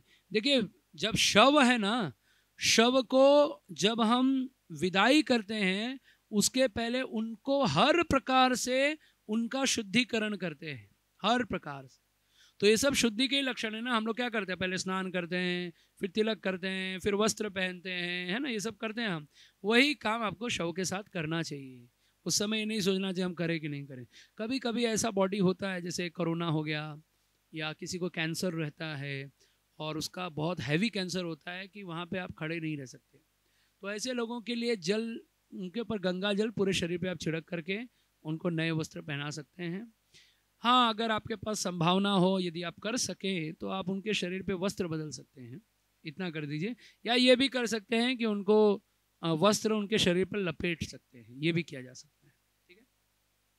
लेकिन जितना हो सके अगर आप उनको अच्छे से स्नान करा के, शुद्धि करा करके उनकी विदाई करते हैं तो ये बहुत उत्तम होगी जो वैष्णव है। ठीक है? उसके अलावा जब वहाँ दाह संस्कार करना होता है तो पाँच किलो घी और एक किलो कपूर। कितना भी मोटा बॉडी हो, कितना भी बड़ा बॉडी हो, ये पाँच किलो घी और एक किलो कपूर में जल जाएगा। इसलिए पाँच किलो घी अच्छा शुद्ध घी लाइए और उससे दाह संस्कार कराइए। और एक किलो भीम सैनी कपूर आता है। अब आप देखेंगे भीम सैनी कपूर कैसा होता है। तो ये ऐसा होता है। कुछ लोग को देख के शक्कर लगता है। एक जगह एक आदमी बोल रहे थे, अरे प्रभु जी, आपने पूजा में इतना सारा शक्कर क्यों रखा है? मैंने बोला, शक्कर जलता भी है। ये जो शक्कर है, शक्कर नहीं है, आप इसको ऐसा तोड़ेंगे और इसको ऐसे करेंगे ना, ये देखिए, पूरा पाउडर हो जाता है। और इसको आप चेहरे पे भी लगाइए फुल बॉडी में ऑक्सीजन भर देता है ये। इतना शुद्ध ये वनस्पति औषधि है। तो ये वाला कपूर से जलाइए। वो जो वो जो कपूर जलाते हैं ना, वो टिकिया वाला, वो टर्पनटाइन केमिकल होता है, वो पेट्रोलियम प्रोडक्ट होता है। वो नहीं जलाना चाहिए, उससे एनवायरमेंट में अशुद्धि आती है कार्बन निकलता है। ये जलाने से ऑक्सीजन निकलता है। तो कभी भी पाँच किलो शुद्ध घी लाइए, बिलोना घी मिले तो सबसे सर्वाधिक उत्तम है। अरे देखिए, लोग क्या करते हैं ना आजकल, पाँच किलो घी अगर आज आप एक किलो का प्राइस पूछेंगे तो दो हज़ार रुपये किलो मिलता है। तो दस हज़ार रुपये का घी हो गया। फिर ये भीमसेनी कपूर भी एक किलो लेने जाएँगे तो दो ढाई हज़ार रुपये, तीन हज़ार रुपये किलो आता है। तो लोग बोलते हैं, अरे हम पंद्रह हज़ार रुपये सिर्फ़ जलाने में लगाएँगे? अरे जिसने जीवन भर साबुन से इस शरीर को रगड़ा है। जिसने इस शरीर से तुम्हें धन दिया, जन दिया, लोग दिए, क्या नहीं दिया? उसके लिए तुम दस पंद्रह हज़ार रुपये खर्चा करने के लिए सोचते हो। हाँ जो गरीब है, मैं उसकी बात नहीं कर रहा हूँ, पर लोग इतने भी गरीब नहीं है कि वो दस पंद्रह हज़ार रुपया इसमें नहीं खर्चा कर सकते। बट ये केवल एक मानसिकता है, पैसा नहीं खर्चा करना। उनको लगता है वेस्टेज है ना तो वेस्टेज के ऊपर क्या खर्चा करना? इतना तो हम गरीब को दे दें। अरे, इतना गरीब से प्रेम है तो देता रहो करो ना हर महीना। वो तो देते नहीं हो। जब दाह संस्कार की बात है, भगवान की बात है तो उनको गरीब की याद आती है। हाँ आजकल ये बहुत सारा प्रचलन चला। अभी इसमें बहुत सारी बातें आपको मैं बताऊँगा कि आज के एन आज के बहुत सारे ऐसी संस्थाएँ हैं जो हमारे धर्म के पीछे इतनी लग चुके हैं कि आपका अंतिम संस्कार भी ढंग से नहीं होने वाला है। ये भी बात सोच के रखिए। इसके लिए प्रयत्नशील हो जाइए। बहुत परिस्थिति हमारी खराब हो चुकी है। आप जब तक हम आराम से अपने घर में हैं, बस तभी तक हमको लगता है कुछ नहीं है। जब आप बाहर निकलेंगे तो आज की परिस्थिति ऐसी बन चुकी है कि हम अपने ही नियमों का पालन हम स्वयं भी नहीं कर सकते। इतने नियम हम पर लागू कर दिए गए हैं। उनमें से एक नियम है, दाह संस्कार आप लकड़ी पे मत कीजिए, मशीन में कीजिए। लकड़ी पे मत जलाओ। क्यों लकड़ी पे जला रहे हो? इतने वन कट रहे आप जो टिश्यू पेपर यूज़ करते हो, आपको क्या लगता है? वो प्लास्टिक से बनता है। हाँ? वो पेड़ों से बनता है, वो भी उसमें कई गैलन पानी खर्च होता है, साथ में उतना ही वो कट, काटे जाते हैं और वो टिश्यू पेपर बस ऐसे खा के झूठा खा के फेंक देते हैं। इसके लिए आप पेड़ काटते हो, तब आपको पेड़ों की याद नहीं आती। लेकिन जब हमारे यहाँ किसी का दाह संस्कार करना हो तो आपको पेड़ों की याद आती है। तो आज की एनजीओ में ऐसे कई एनजीओ हैं जो काम कर रहे हैं कि वो लोगों को बड़े प्यार से शिक्षा देते हैं कि देखिए, अगर आप ऐसे करेंगे तो ये दाह संस्कार करेंगे तो इससे एनवायरनमेंट में बहुत सारे कार्बन आएँगे, अशुद्धि आएँगी। इससे अच्छा है आप इलेक्ट्रिक पे कर दीजिए, तुरंत शरीर भी जल जाएगा और पेड़ों का नुकसान नहीं होगा। देखिए, कुछ चीज़ों के लिए हमारे शास्त्रों ने बताया है कि पेड़ काटना पड़ता है, पत्ते तोड़ने पड़ते हैं, कुछ चीज़ें करनी पड़ती है, क्योंकि वो विशेष क्रिया के लिए हायर पर्पज़ के लिए करना पड़ता है। तो ये इतना अगर पेड़ों से प्यार है तो टिश्यू पेपर को बंद कराओ, बैन कराओ ना, अगर आपको इतना प्रेम है लकड़ी से। जब हमारा यज्ञ होता है ना तो लोग बोलते हैं, अरे, कितना लकड़ी आप वेस्ट कर रहे हैं। ये शब्द बोलते हैं लोग। हाँ शिव जी को दूध चढ़ाए तो कितना प्रश्न होता है। हाँ शराब पीते तब इनको याद नहीं आता है। केक पोतते हैं लोगों के मुँह पे, तब इनको गरीबों की याद नहीं आती। लेकिन इन सब चीज़ों पे गरीबों की याद आती है पेड़ पौधों की याद आती है एनवायरनमेंट की याद आती है। इतना कार कंपनी, इतने सारे कार प्रोड्यूस कर रहा है और इतने कार के वजह से इतना ज़्यादा वातावरण अशुद्ध हो रहा है, उसकी कोई चिंता नहीं है। लेकिन अगर आप दाह संस्कार करेंगे, एक शरीर जलाएँगे, जो हमारे संस्कारों का एक अंग है, उसके ऊपर बहुत बड़ा प्रश्न उठाया जा रहा है आज के समय में। तो इस चीज़ के लिए आप लोग को थोड़ा आगे आना पड़ेगा। बोलना पड़ेगा कि नहीं, ये फैक्ट है, ये हम करेंगे, ये हमारा विधान आपको पता है, विवाह में अक्षत छोड़ते हैं ना हम लोग? महाराष्ट्र में या साउथ इंडिया में अक्षत फेंकते हैं। तो एक कंपनी है, अब वो कंपनी का मैं नाम इसलिए नहीं ले रहा, मेरे को उसका प्रमोशन नहीं करना है। तो वो कंपनी क्या बोलती है पता है कि अरे आप ये चावल फेंकते हैं ना, ये वेस्टेज होता है, इससे अच्छा इतना चावल आप हमें दीजिए, हम गरीबों को बांटेंगे। अरे इतना आपको गरीबी की याद आ रही है तो जाओ रोज बांटो। आपको हमारे संस्कार में से ही लगता है सब कुछ। हाँ इतने सारे जानवरों को मार के खाते तो एनवायरमेंट की याद नहीं आती। लेकिन जैसे ही हमारे धर्म की बात आएगी तुरंत इनको एनवायरमेंट की याद आती है तुरंत इनको आ, सारे दुनिया की चिंता होने लगती है। ये सब एक षड्यंत्र है हम अपने धर्म को भूल जाएँ नष्ट कर दिया जाए। और आपको पता है चलो क्लियर शब्द में बोलता हूँ बहुत सारे धर्म ऐसे हैं जिनमें से जो क्रिश्चियनिटी है ना, वो क्लियरली बहुत इजीली लोगों को चेंज कर रहे हैं। लेकिन उनके ऊपर कोई ऑब्जेक्शन नहीं होता। लेकिन जो हम, हमारी संस्कृति की, धर्म की बातें करते हैं तो उसके ऊपर बहुत सारे प्रश्न उठा दिए जाते हैं। और इसके ऊपर कोई बोल नहीं रहा है। और जो बोलना चाहता है, उसकी आवाज़ कुचल दी जाती है, दबा दी जाती है। इसलिए बोलने से पीछे मत हटिए, क्योंकि जब तक आप बोलेंगे नहीं तब तक लोग आपको छोड़ेंगे नहीं। इसलिए बोलना पड़ेगा। बोलिए, आज का युग है बोलना। आज का युग है, आप कैमरे के आगे बोलिए। ये इतना सा कैमरा जो आपके सामने दिख रहा है, ये बहुत बड़ा बड़ा काम करता है। इसलिए इन सब बातों को विशेष ध्यान रखें देखिए, ये मैं इसलिए बोल रहा हूँ क्योंकि आगे चल के इलेक्ट्रिक का इनोवेशन कर दिया गया है। इलेक्ट्रिक दाह संस्कार हो रहे हैं। और आपको भी एक दिन मजबूर किया जाएगा कि इलेक्ट्रिक में जाके जलाइए। आपको मजबूर किया जाएगा। आज आप मानो या नहीं मानो, आपको मजबूर किया जाएगा। और क्यों लकड़ी में दाह संस्कार करना है, उसके लिए मैं क्यों बोल रहा हूँ? क्योंकि जो घी होती है, कपूर होता है, और जो दाह संस्कार होता है, वो अग्नि लकड़ी के द्वारा होती है। मशीन के द्वारा आप रोज भोजन करेंगे ना तो आपको कैंसर तुरंत पकड़ लेगा। आप रोज ओवन में खाना पका के खाते हो क्या? लेकिन हमें जब हमारी बात आएगी तो वहाँ पे एनवायरनमेंट की बात भी याद आती है हमको लेकिन जब हम अपने संस्कृति की बातें करते हैं तो बोलते हैं वेस्टेज है। तो कृपया इस बात को आप लोग ध्यान रखिए कि मशीन में आग लगा करके दाह संस्कार करना ये कोई बुद्धिमानी इसलिए नहीं है क्योंकि हमारा जो संस्कार है, उसमें लकड़ी पर शरीर को रख करके जलाने का विधान है। तो कुछ लोग इसमें यह प्रश्न उठा सकते हैं कि भाई अगर हमने उसमें जला दिया तो कुछ प्रॉब्लम है क्या? कोई प्रॉब्लम नहीं है। बस बात इतनी है कि ये एक विधान है और कुछ विधान अंधविश्वास नहीं होते। लकड़ी जो जलती है ना, उसके साथ साथ पूरा शरीर राख में परिवर्तित होता है। क्योंकि मिट्टी है से अग्नि मिट्टी बन के पूरा समापन होता है। लेकिन जो उसमें जो राख जल उसमें जो आ, मशीन में जलता है ना उसमें तो हड्डी भी नहीं बचती। तो ये जो अस्थि विसर्जन का वातावरण है वो तो हमारे में खत्म हो जाएगा। अस्थि मिलेगी नहीं वो पूरा बर्न हो जाता है एक साथ। और वो उसमें राख नहीं मिलता है।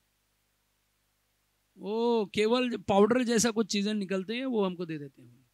उसमें अस्थि नहीं होती है। तो अस्थि विसर्जन का पार्ट खत्म हो गया। तो लोग क्या कहते हैं कि अरे शरीर पूरा जलता नहीं ना, इसलिए अस्थि बचता है, इसलिए अस्थि को जलाने के लिए, अस्थि को इसलिए डुबाते हैं हम लोग। ऐसा नहीं ये सब पॉइंट है ही नहीं। अस्थि विसर्जन का एक अपना कारण है, अग्नि जलाना एक अपना एक कारण है, और ये सब का एक शास्त्रिक महत्व है। इसलिए दाह संस्कार में लकड़ी पर शरीर को रख करके जलाना चाहिए। आप अगर अग्नि में आहुति देते तो किस पे देते हैं? लकड़ी रहती है ना, जलती है। या गाय के कंडे होते हैं, उस पर जलाइए अगर लकड़ी से नहीं जलाना है तो गाय के कंडों से भी जलाया जा सकता है। इसलिए गायों का भी रक्षण कीजिए, गाय को बचाइए। तो गाय के गोबर से जो उपले बनते हैं, हज़ारों संख्या में उपले लगाइए, उनको जलाइए, उससे भी पूरा शरीर जल सकता है। ये भी संभव है। लेकिन फिर भी उसमें लकड़ियों, लकड़ियाँ लगती हैं। तो यह एक पार्ट है, जिसमें हम लोग अंत्येष्टि क्रिया कराते हैं। उसमें वहाँ पर क्रव्यादम नामक अग्नि का आवाहन करते हैं, उस अग्नि में आहुति देते हैं, उसी अग्नि से फिर वह शरीर को दाह कराया जाता है और उनका दाह संस्कार होता है। ठीक है, ये एक बात है। और ये अंत्येष्टि जो है, ये सभी व्यक्ति के लिए की जाती है एक्सेप्ट सन्यासी को। छोड़कर बाकी हर एक व्यक्ति के लिए दाह संस्कार होता है। अभी आपको एक इंसिडेंस बताऊँ, मेरे इस्कॉन की ही। कि हमारे जो गुरु महाराज हैं, परम पूज्य राधा गोविंद गोस्वामी महाराज, उनके एक शिष्य हुए जिनका संन्यास दीक्षा हुआ था। उनका नाम था गौर कृष्ण महाराज। तो उनके पचास वर्ष में, क्योंकि उनको संन्यास लेके कुछ एक दो वर्ष ही हुए थे ज़्यादा समय नहीं हुआ था उनको। कितने वर्ष हुए तो ये याद नहीं है, ठीक ठीक। हाँ? छः महीना हुआ था ना प्रभु जी? हाँ वही। तो आपको पता है तो उनको गुरु महाराज ने गुरु महाराज के आगे सबने प्रश्न किया कि महाराज जी क्या करें? इनके शरीर को समाधि दें या जलाएँ तो महाराज जी ने आज्ञा दिया कि नहीं, इनको जलाओ। जबकि संन्यास ले करके किसी का दाह संस्कार नहीं होना चाहिए, लेकिन गुरु महाराज ने उनको कहा कि जलाओ, उसके कई कारण थे। उनमें से एक कारण ये भी है क्योंकि अगर जो सन्यासी होता है, उसका समाधि बना दिया जाए और उस समाधि की कोई सेवा भविष्य में नहीं करेगा तो वो सन्यासी के लिए ठीक नहीं रहता। इसके लिए उनका जो सन्यासी होते हैं उनका भी एक समाधि स्थल ऐसे क्षेत्र में बनाया जाए जहाँ पे फिर उसके ऊपर कोई खेती जुताई नहीं हो। ऐसा है। इसलिए आप वृंदावन में देखिए, गोस्वामियों का जब हम राधा दामोदर मंदिर में जाते हैं तो परिक्रमा करते हैं तो एक एक एक एक महाराज के समाधि के नाम लिखे गए हैं। तो ये सबको वहाँ पर स्थान दिया जाता है इसके लिए। तो ये भी बहुत बड़ा टास्क है कि संन्यास लेके दास उनका समाधि बनाना और उनके लिए करना। ये सब, ये कोई साधारण चीज़, मैंने कहा ना हम लोग सिर्फ़ कमरे में बैठे हैं, इसलिए हमें मालूम नहीं पड़ता कि आगे की दुनिया क्या है। हम लोग घूमते रहते हैं और हमें रोज़ एक एक नई चीज़ें मालूम पड़ता है। अच्छा ये भी हो रहा है अच्छा ये भी हो रहा है। तो सब चीज़ के लिए बड़ा झगड़ा करना पड़ता है। बहुत सारी बातें करनी पड़ती है, तब जाकर के एक वस्तु हमें प्राप्त होती है।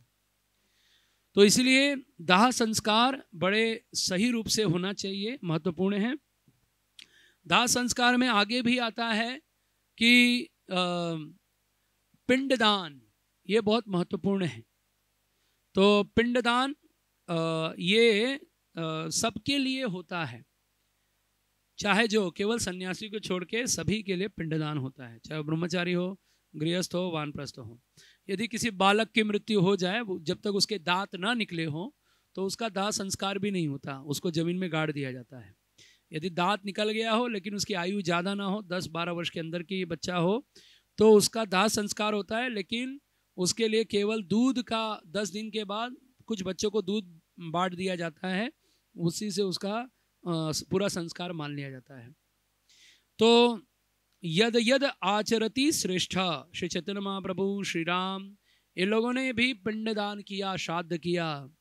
जैसे ही श्री राम जी को पता चला कि दशरथ महाराज की मृत्यु हो गई, उन्होंने शरीर त्याग कर दिया है तो तुरंत उन्होंने पहला काम किया जा कर के नदी के पास में बैठ के पिंडदान किया, अपने पिता के नाम से पिंडदान किया। अब यहाँ प्रश्न ये है कि जब भगवान, जिसने राम राम बोल करके शरीर त्यागा है, जो खुद राम का पिता है, और राम स्वयं भगवान है, उनको क्या आवश्यकता है पिंडदान करने का? क्या आवश्यकता है? चैतन्य महाप्रभु, जिन्होंने कोई, जिसका कोई काम नहीं है चैतन्य महाप्रभु ने केवल हरि नाम हरि नाम हरि नाम का प्रचार किया।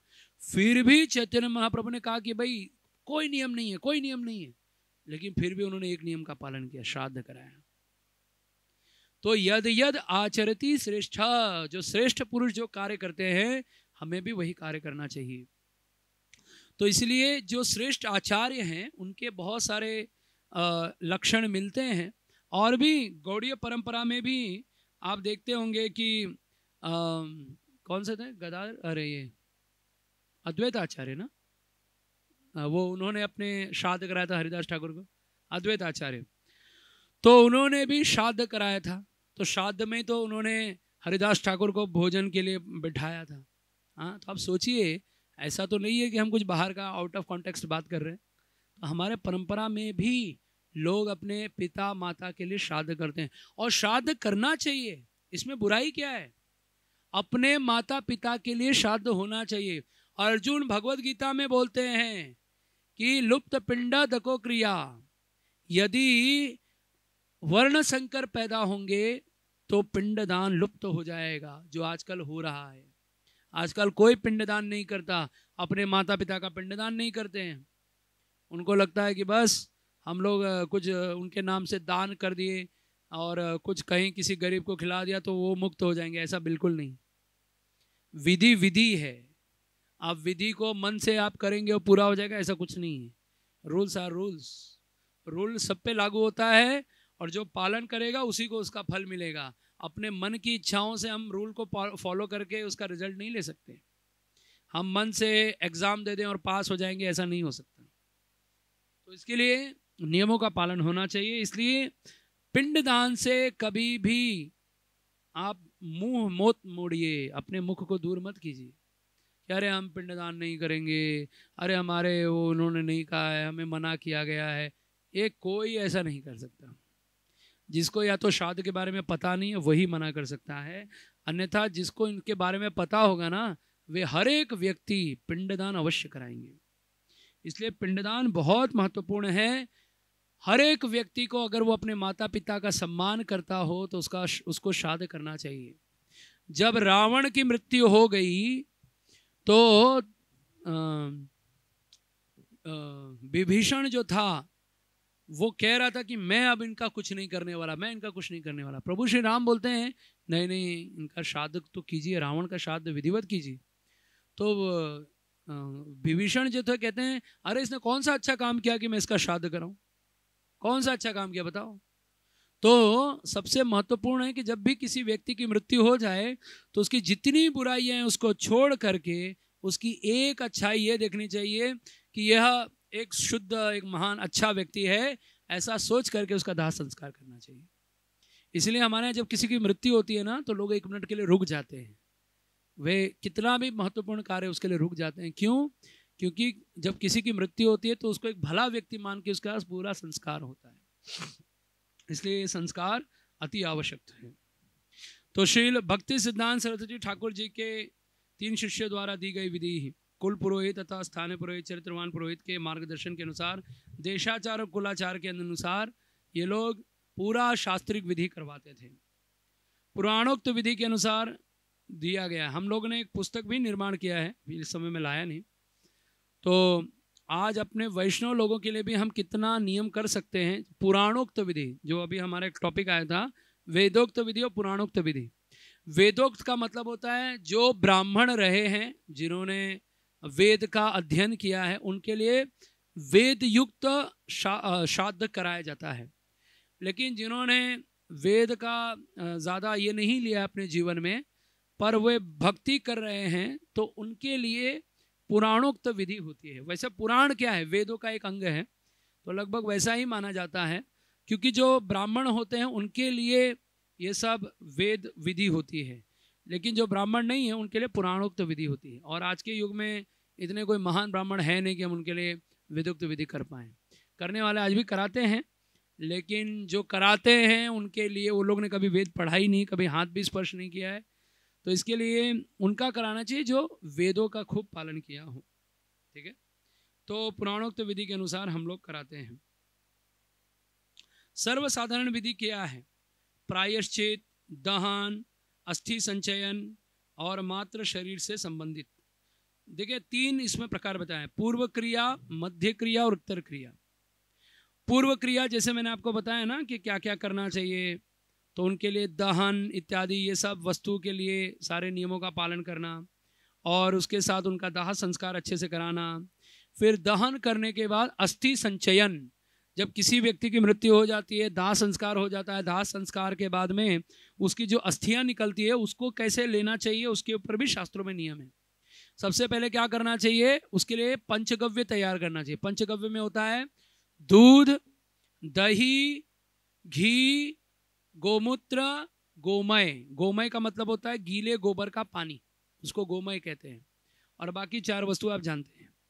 तो ये सबको एक बर्तन में, स्टील का कोई बर्तन ले लीजिए, उसको मिक्स कर लीजिए। एक लीटर, दो लीटर ऐसा बना लीजिए उसको मिक्स करके। और उसमें जब आप शमशान भूमि जाएँगे, जो आपके किसी भी परिवार के संबंधी की मृत्यु हुई हो तो उसमें से जितनी भी वहाँ पर अस्थियाँ होती हैं, उसको पहले ले करके पानी में डुबाना चाहिए, यानी पंचगव्य में। उसमें डुबा करके, निकाल करके, फिर उसको एक मटके में या दूसरे बर्तन में रखना चाहिए। इससे क्या होगा, उसका जो विष होता है, वह निकल जाता है, और फिर हम जब उसको पानी में विसर्जन करते हैं तो उससे किसी को हानि नहीं होती है। ये देखिए हमारा शास्त्र है। जो हड्डी में से जो विष रहता है, उस विष को भी निकालने का उनके पास कला है, और ये शास्त्रों में बताया गया है। तो पंचगव्य में शरीर अस्थियों को डुबा करके, फिर उसमें से निकाल के एक बर्तन में रख करके उसको बाँध दीजिए। जब भी किसी व्यक्ति की मृत्यु हो जाए, उसके चार दिन के बाद उसके अस्थियों को विसर्जन करना चाहिए। चार दिन से लेकर दस दिन में करवा लेंगे तो सबसे उत्तम है। या तो फिर पूरे एक वर्ष के अंदर कभी भी उनका अस्थि का विसर्जन किया जा सकता है। हम लोग जनरली नासिक में अस्थि विसर्जन कराते हैं या हमारे पास बाण गंगा है, हम वहाँ पे अस्थि विसर्जन करवाते हैं। नासिक में एक राम कुंड है। उसको अस्थि विलय कुंड भी कहते हैं। क्यों कहते हैं? क्योंकि वहाँ पर आप आज सुबह अस्थियाँ डालो, शाम भर में वो सारी अस्थियाँ पिघल जाती है। वो पानी की ये कला है, उसका गुण है राम कुंड इसलिए आप देखेंगे नासिक में बहुत सारे लोग, आप सोचो, दिन रात उसमें अस्थियाँ पड़ती हैं। तो उसका पहाड़ नहीं बन जाता होगा, अगर वो पिघलता नहीं होगा तो। या ऐसा भी नहीं कि बहुत फोर्स में पानी बहता है। नॉर्मल फोर्स होता है उसका, जो एक नॉर्मल नदी का जल होता है। जैसे गंगा का फोर्स आप हरिद्वार में देखेंगे तो कितनी तेज़ी पे होती है गंगा। कि अगर आपने नहाते समय अगर आपके हाथ से चेन छूट गया तो आपका चेन कहीं और चलेगा। तो इसके लिए इतना वेग होता है, तब तो चलो अस्थियाँ बह जाती होंगी। लेकिन अस्थि विलय कुंड इसलिए कहा गया क्योंकि वहाँ पे नदी में आज सुबह आप डालिए, शाम भर में अस्थि पिघल के समाप्त हो जाता है। ये राम कुंड की विशेषता है। ठीक है? तो ये पूर्व क्रिया अस्थि, संचयन और उनका ये होता है, फिर मात्र शरीर से संबंधित। अब जब व्यक्ति की मृत्यु हो जाती है तो हमें घर में क्या क्या करना चाहिए, उसके भी कुछ नियम हैं। जब किसी व्यक्ति की मृत्यु हो जाती है तो उसके घर में दाह संस्कार करके आने के बाद एक दक्षिण मुखी दिया जला के रखना चाहिए। साउथ फेसिंग, दिया जला के रखना चाहिए और वहाँ पर एक कटोरी में दूध कच्चा दूध और एक कटोरी में पानी और उसको हर दूसरे दिन सुबह सुबह बदल देना चाहिए। और वो पेड़ और जल को किसी भी पेड़ में डालना चाहिए, तुलसी में नहीं डालना चाहिए। ठीक है? तो इन नियमों का पालन होना चाहिए। और जब किसी की मृत्यु हो चुकी हो तो दस दिन तक बारह दिन तक उसके घर में सूतक होता है। तो उनको मंदिर नहीं जाना चाहिए, गायत्री जप नहीं करना चाहिए। और कोई अनुष्ठान, कोई दान, ये सब नहीं करना चाहिए। दान भी नहीं करना चाहिए। कि आप किसी को कुछ भी पैसे देते हो, दान के रूप में तो वो नहीं करना चाहिए। वो पूरा बारह दिन के बाद ही दान करना चाहिए। इसके लिए हमारे शास्त्रों में लिखा है, यथाशक्ति व्यवहारिक का द्रव्य दान सूत कांते अहमाचरिष्ये। जब सूतक का अंत हो जाएगा, तब मैं यह दान करूँगा, करूँगी। तो इसलिए हम सभी को दान करने के लिए यह बताया जाता है। तो प्रेत का श्राद्ध दान विधि, अब ये प्रेत श्राद्ध जो आता है मतलब जब किसी की मृत्यु हो जाती तो प्रतिदिन उसके नाम का पिंडदान होता है। प्रतिदिन पिंडदान किया जाता है। तो कभी कभी ऐसा भी होता है कि मान लीजिए आप पहले दिन, दूसरे दिन पिंडदान नहीं दे सकते। तो सीधा दसवें दिन पर आप पिंडदान कराइए। जब किसी की मृत्यु हो जाती है तो उसके लिए दस दिन का पिंडदान होता है। तो हर दिन एक एक पिंड का आप दान करेंगे तो दस दिन में दस पिंडदान हो जाता है। पर उतने ब्राह्मण मिलना, प्रतिदिन वैसा करना, ये सब संभव नहीं होता। तो इसलिए भगवान ने एक नियम बताया है कि आप दसवें दिन पे पूरा विधि एक साथ कर लीजिए। तो सबका उसमें शरीर निर्माण होता है। थोड़ा वो स्लाइड को पीछे दिखाइए, कि शरीर निर्माण में। तो आप देखिए, इसमें हमने लिखा है कि एक एक दिन में क्या क्या बनता है। तो पहले सिर बनता है, फिर आँखें, फिर ऐसे ऐसे करके पूरे शरीर के अंग तैयार होते हैं पिंडदान से। तो अब मान लीजिए, किसी के घर में मृत्यु हो गई और उसने पिंडदान नहीं किया। पिंडदान ही नहीं किया तो उसको शरीर मिलेगा। अब वो भगवत धाम नहीं गया है और उसका विधि कुछ नहीं हुआ है, पिंडदान भी नहीं हुआ है तो प्रेत बन के घूमना पड़ता है उसको। इसलिए पिंडदान बहुत आवश्यक है। ये बहुत महत्वपूर्ण है। विशेषकर जब किसी की मृत्यु हो जाए तो दसवें दिन पे पिंडदान होना चाहिए। अच्छा कुछ लोग क्या करते हैं? बोलते हैं, हम दूसरे तीसरे दिन में सारा विधि करवा लेंगे। चलेगा क्या? नहीं चलेगा। कोई शॉर्टकट नहीं है। हर चीज़ में हम लोग शॉर्टकट मारने का प्रयास करते हैं। नहीं चलेगा। तो प्रेत का श्राद्ध और दान विधि, यानी ये पिंडदान विधि, ये सब बहुत महत्वपूर्ण होता है और मात्र प्रेत आत्मा से संबंधित। तो जब किसी की मृत्यु हो जाती है ना तो जो दाह करता है, जिसने दाह संस्कार कराया है, उसके अंगूठे के साइज़ के बराबर वो आत्मा का शरीर होता है, जिसको प्रेत शरीर कहते हैं। और वो पूरे दस दिन, बारह दिन तक उसी घर में भ्रमण करते रहते हैं। इसलिए वो घर में सूतक माना जाता है।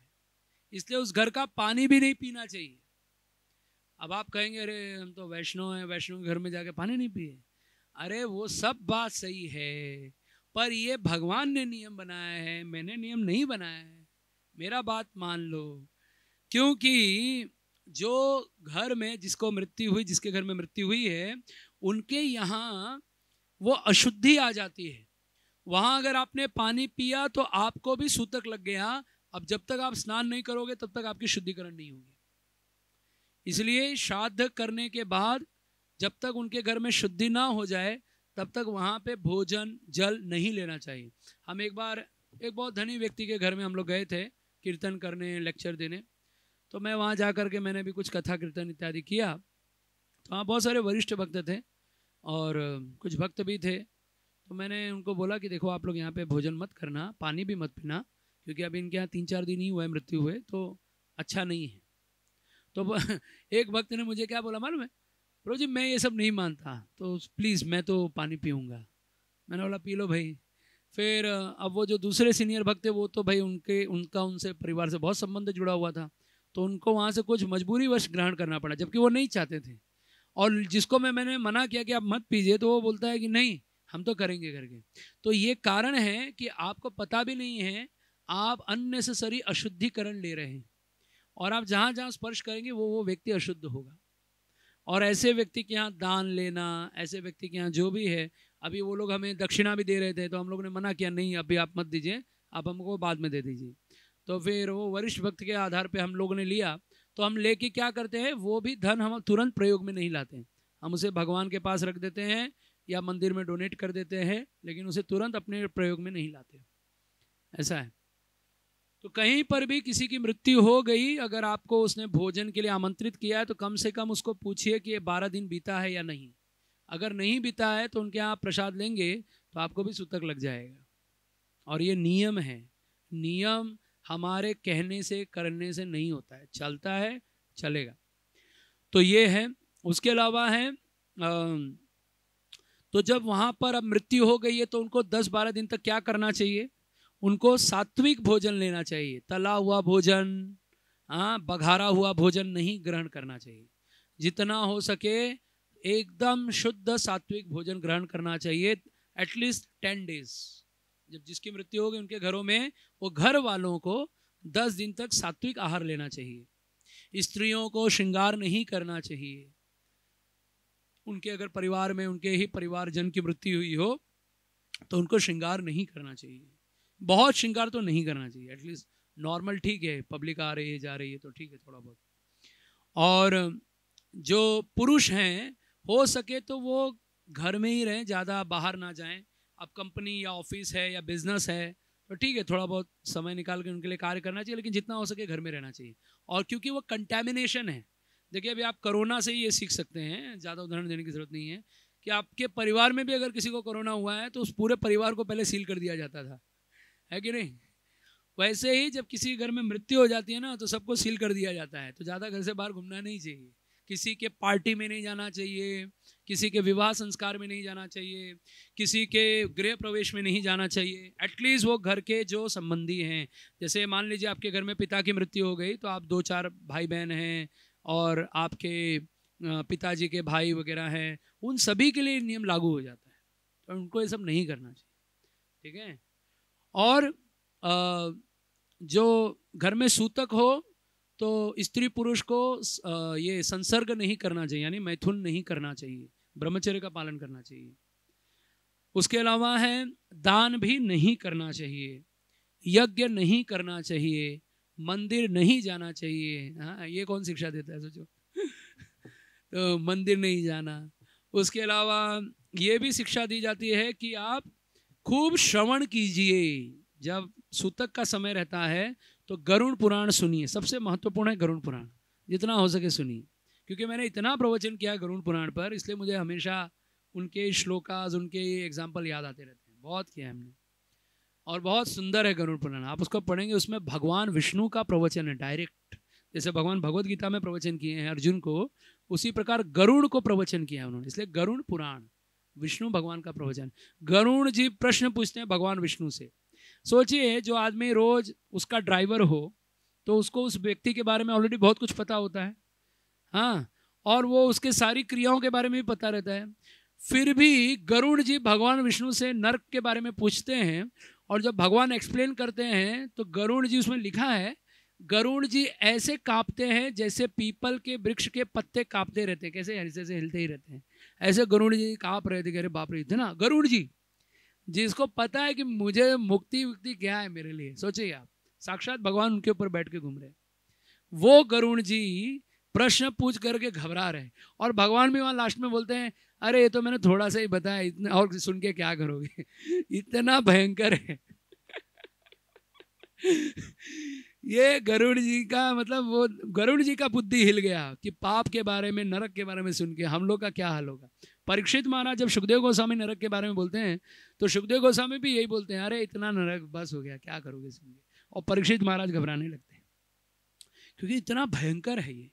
तो जब आपको मृत्यु हो जाएगी और आप गरुण पुराण सुनेंगे, और हमारे शास्त्रों में ना बताया गया है कि तीन बार ही लोगों की बुद्धि खुलती है। तीन बार। पूरा ज्ञान आ जाता है। ओरिजिनल ज्ञान उनके दिमाग में छप जाता है। वो तीन ही टाइम होता है। जब किसी की मृत्यु हो जाए, जब वो शास्त्र सुने या जब वो बहुत बीमार हो जाए, तीन टाइम उसका दिमाग बहुत एक्टिव रहता है। हाँ संसार झूठा है, हमें भगवान की भक्ति करनी है, बहुत ज़बरदस्त रियलाइजेशन आता है। और जैसे ही ठीक हो जाता है, ऐसे करते हैं हम लोग। है कि नहीं? तो ये तीन समय बहुत ज्ञान आता है। इसलिए जब भी उस समय, इसीलिए हम लोगों ने बहुत लोगों को प्रचार करके भक्ति में लाया है और वो गरुण पुराण के माध्यम से लाया है। बहुत सारे लोग भगवत गीता कोर्स करते हैं, हम गरुण पुराण कोर्स करते हैं।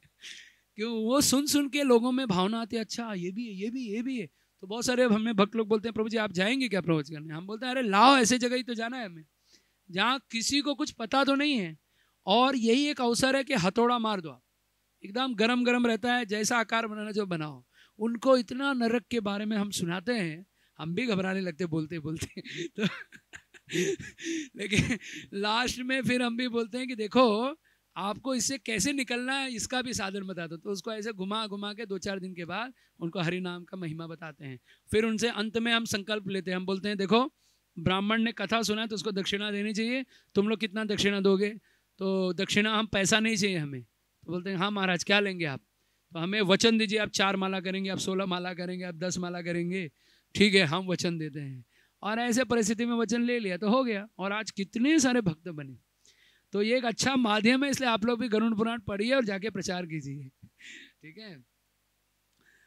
और आगे है, सपिंडीकरण के बाद पितृ श्राद्ध सदगति प्राप्त कराने हेतु। यानी उत्तर क्रिया कहते हैं कि जब किसी की विधि, दसवें दिन का एक विधि होता है पिंडदान होता है। फिर ग्यारहवें दिन अग्नि में आहुति दी जाती है और उसकी विधि होती है, टोटल अड़तालीस पिंडदान होते हैं। तो जिसमें होता है सोलह सोलह सोलह। तो पहले जो ग्यारहवा, दसवें दिन में दस पिंडदान ग्यारहवें दिन पर टोटल कितना होता है? सोलह दुना बत्तीस। वो पिंडदान होता है और तीसरे दिन, बारहवें दिन में और सोलह पिंडदान होते हैं। और बाद में सब पिंडीकरण होता है, यानी पिता, दादा, परदादा, इसमें उनका मेलन किया जाता है, उसको सपिंडीकरण कहते हैं, और उसके बाद में आता है दान। तो खूब दान करना चाहिए भर भर के दान करना चाहिए। जब किसी की मृत्यु हो जाती है तो देखिए नेक्स्ट लाइज में ही है, प्रायश्चित के बाद। यानी जब व्यक्ति की मृत्यु हो जाती है ना तो उसके बाद में उसके निमित्त दान करना बहुत आवश्यक होता है। तो क्या क्या दान होता है? देखिए दश दान लिखा गया है। गाय, भूमि, तिल, सुवर्ण, घी, वस्त्र, धान, रौप्य। रौप्य का मतलब क्या होता है? गुण। रौप्य मतलब ये पात्र बोलते हैं। और गुड़, नमक, ये सब है। बाकी गोदान में भी ऋण धेनु, उत्क्रांति धेनु, मोक्ष धेनु, पाप धेनु, वैतरणी धेनु। यानी कम से कम पाँच गौदान करना चाहिए। आज तो एक भी कोई नहीं करता है। लोगों को हम बोलते गौदान कीजिए। तो वो लोग एक चांदी की गाय लेके आते हैं। बोलते प्रभु जी, ये गौदान एक्चुअली आपको गाय का दान करना चाहिए। यथाशक्ति जीवन में एक बार गौदान अवश्य कर लेना चाहिए। वो भी ओरिजिनल गाय चलती फिरती जो सांस लेती हो, और उसका बछड़ा हो, और उसके निमित्त वो जिस भी व्यक्ति के लिए आप दान करेंगे, वो वैतरणी नदी पार करता है। वैतरणी नदी क्या है? आप गरुण पुराण पढ़ेंगे तो आप सुन के डर जाएँगे। वो इतना बड़ा नदी है, सौ योजन चौड़ा है। बस इतना ही लिखा है। कितना लंबा है ये नहीं लिखा है। चौड़ा है, सौ योजन। एक योजन मतलब आठ माइल। तो सौ योजन लंबा, चौड़ा सिर्फ़ वो नदी है उसको क्रॉस करने के लिए जब उसको हमको पार करना होता है तो वहाँ गाय की पूंछ पकड़ के ही क्रॉस कर सकते हैं। जैसे आप वो बद्रीनाथ वगैरह सब जाएँगे तो देखो चेन होता है, चेन के ऊपर में, या वो खच्चर होता है, उसके ऊपर लेके जाते हैं ना यहाँ से दस किलोमीटर, अठारह किलोमीटर। वो खच्चर कैसे चाहिए लोगों को? अब जो बीस तीस साल के लड़के उनको भी खच्चर लगता है अभी तो। पहले बूढ़े लोगों के लिए रखा गया था। तो वो क्या करते हैं? खच्चर पे बैठ के जाते क्योंकि वहाँ कार वगैरह अलाउड नहीं है। तो जैसे आप बद्रीनाथ, केदारनाथ जाते हैं तो कैसे खच्चर पे बैठ के ऊपर जाते हैं? तो वहाँ खच्चर नहीं चलता, वहाँ गाय चलती है।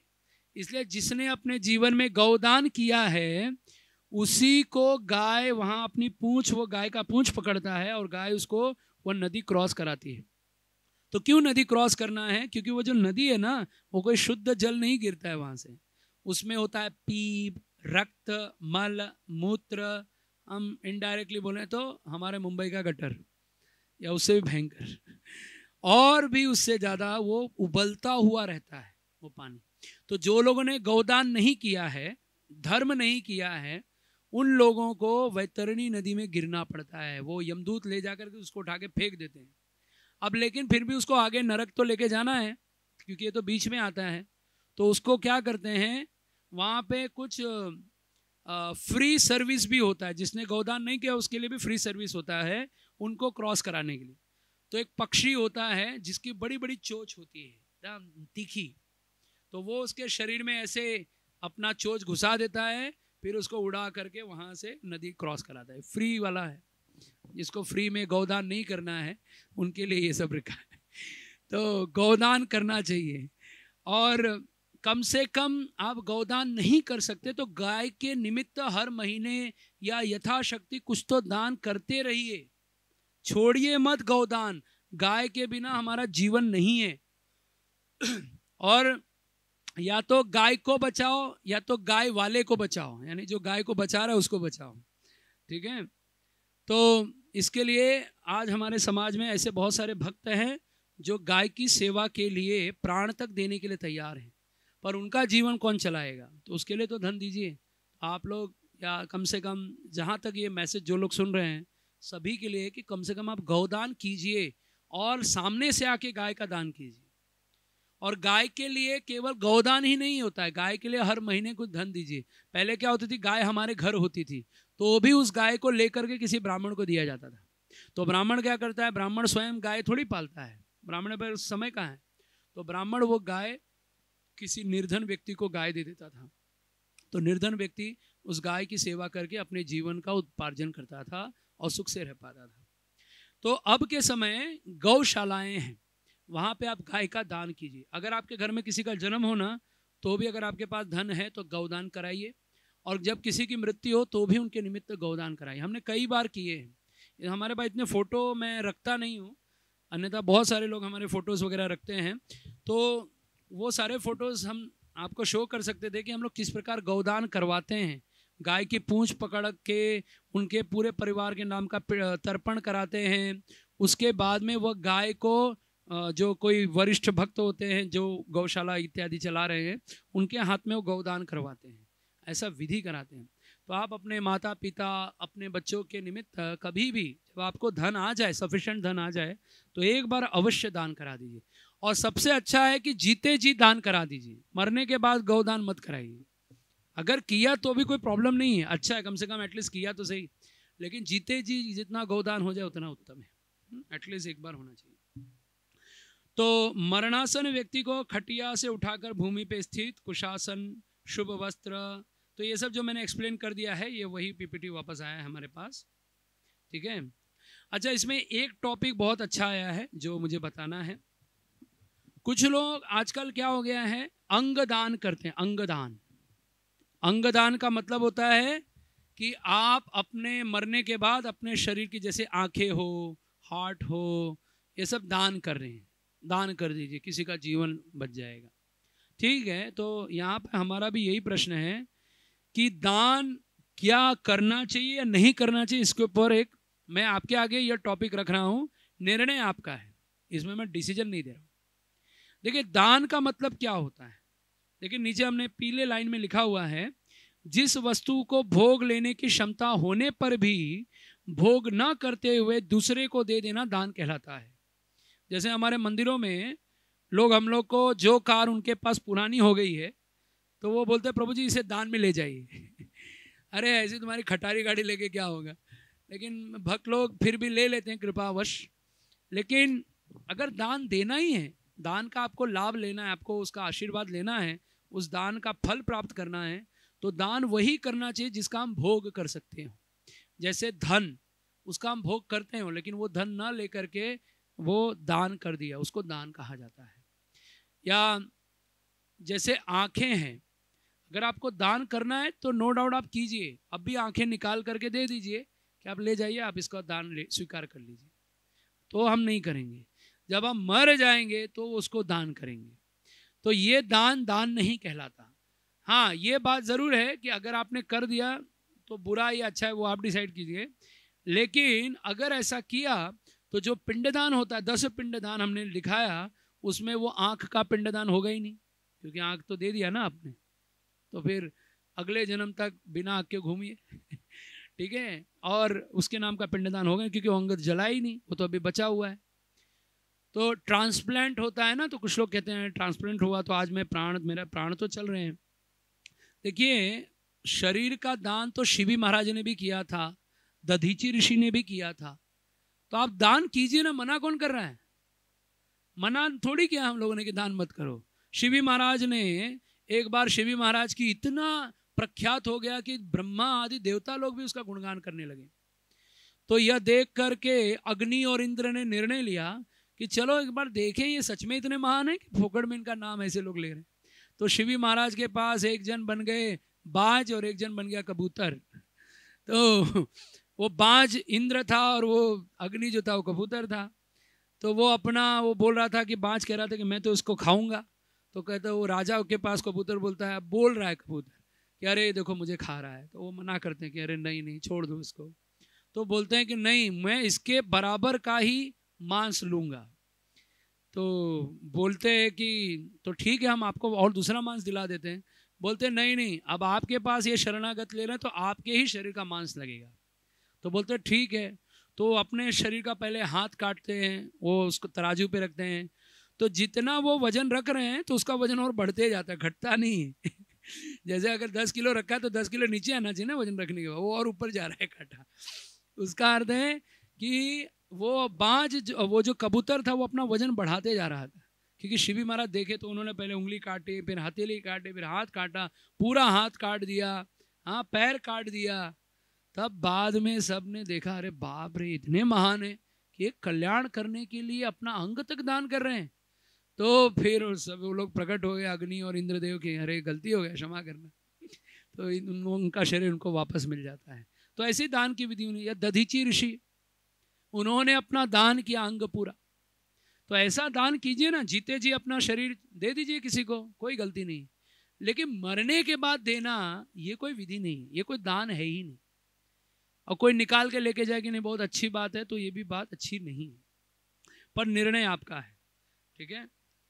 और तो इतना ही हम लोगों ने इन सब विषयों पर लगभग लगभग सारी चर्चाएँ कर ली है, दाह संस्कार के ऊपर में। तो जो भी चीज़ें अभी आगे पीपीटी में भी है वो सब के ऊपर मैंने बोल चुका हूँ मैं ऑलरेडी तो यहाँ पर हमारा अंत्येष्टि क्रिया पूरा हो गया नहीं हुआ है मेरे हिसाब से लेकिन लगभग जो इन्फॉर्मेशन आप तक पहुँचनी चाहिए तो मैंने पहुँचा दी। इसके बारे में और विस्तृत जानकारी के लिए हम फिर से कभी आ, प्रयास करेंगे कि आपको उसके ऊपर और शिक्षाएँ दे सकें या कभी स्पेशल केवल अंत्येष्टि संस्कार पर ही हम सेमिनार लेंगे। तो ये सभी भक्तों के लिए अति आवश्यक है और इसकी आवश्यकता है हम सभी को आप सभी इसका पालन करेंगे ठीक है? हरे कृष्णा हरे कृष्णा कृष्णा कृष्णा, हरे हरे हरे राम हरे राम राम राम। तो जल्दी से शॉर्ट में, सिर्फ़ एक दस मिनट में हम सारे लोगों के प्रश्न उत्तर लेंगे। मैं ज़्यादा एक्सप्लेन नहीं करूँगा क्योंकि ऑलरेडी कर चुका हूँ। किसी का कोई प्रश्न है तो हम ले सकते हैं। यदि नहीं है तो उत्तम है। ऑनलाइन कोई? हाँ ये बहुत बड़ा टॉपिक ही है पूरा वो, कि पिंडदान कौन कर सकता है? तो सबसे पहला है कि पुरुष ही करना चाहिए, पुत्र ही करना चाहिए। या मान लीजिए उनके पुत्र नहीं है तो उनका भाई है, वो कर सकता है। यदि वो भी नहीं है तो बेटी है, बेटी का बेटा है, वो कर सकता है। यदि कोई नहीं है तो पत्नी भी कर सकती है, बेटी भी कर सकती है। अगर कोई नहीं है, ऑप्शन तो। लेकिन पहला ऑप्शन लड़का का हो, पुरुष का होता है। नहीं है तो लड़की भी कर सकती है। और यदि उनमें श्रद्धा नहीं है तो जिसमें श्रद्धा है वो पिंडदान कर सकता है ऐसा प्रभु जी मेरा क्वेश्चन ये है कि मतलब जब लाइक जो यंगस्टर हो जाए आपको भी आ, होता है जो मर जाता है अपनी पूरी ज़िंदगी बगैर काटे।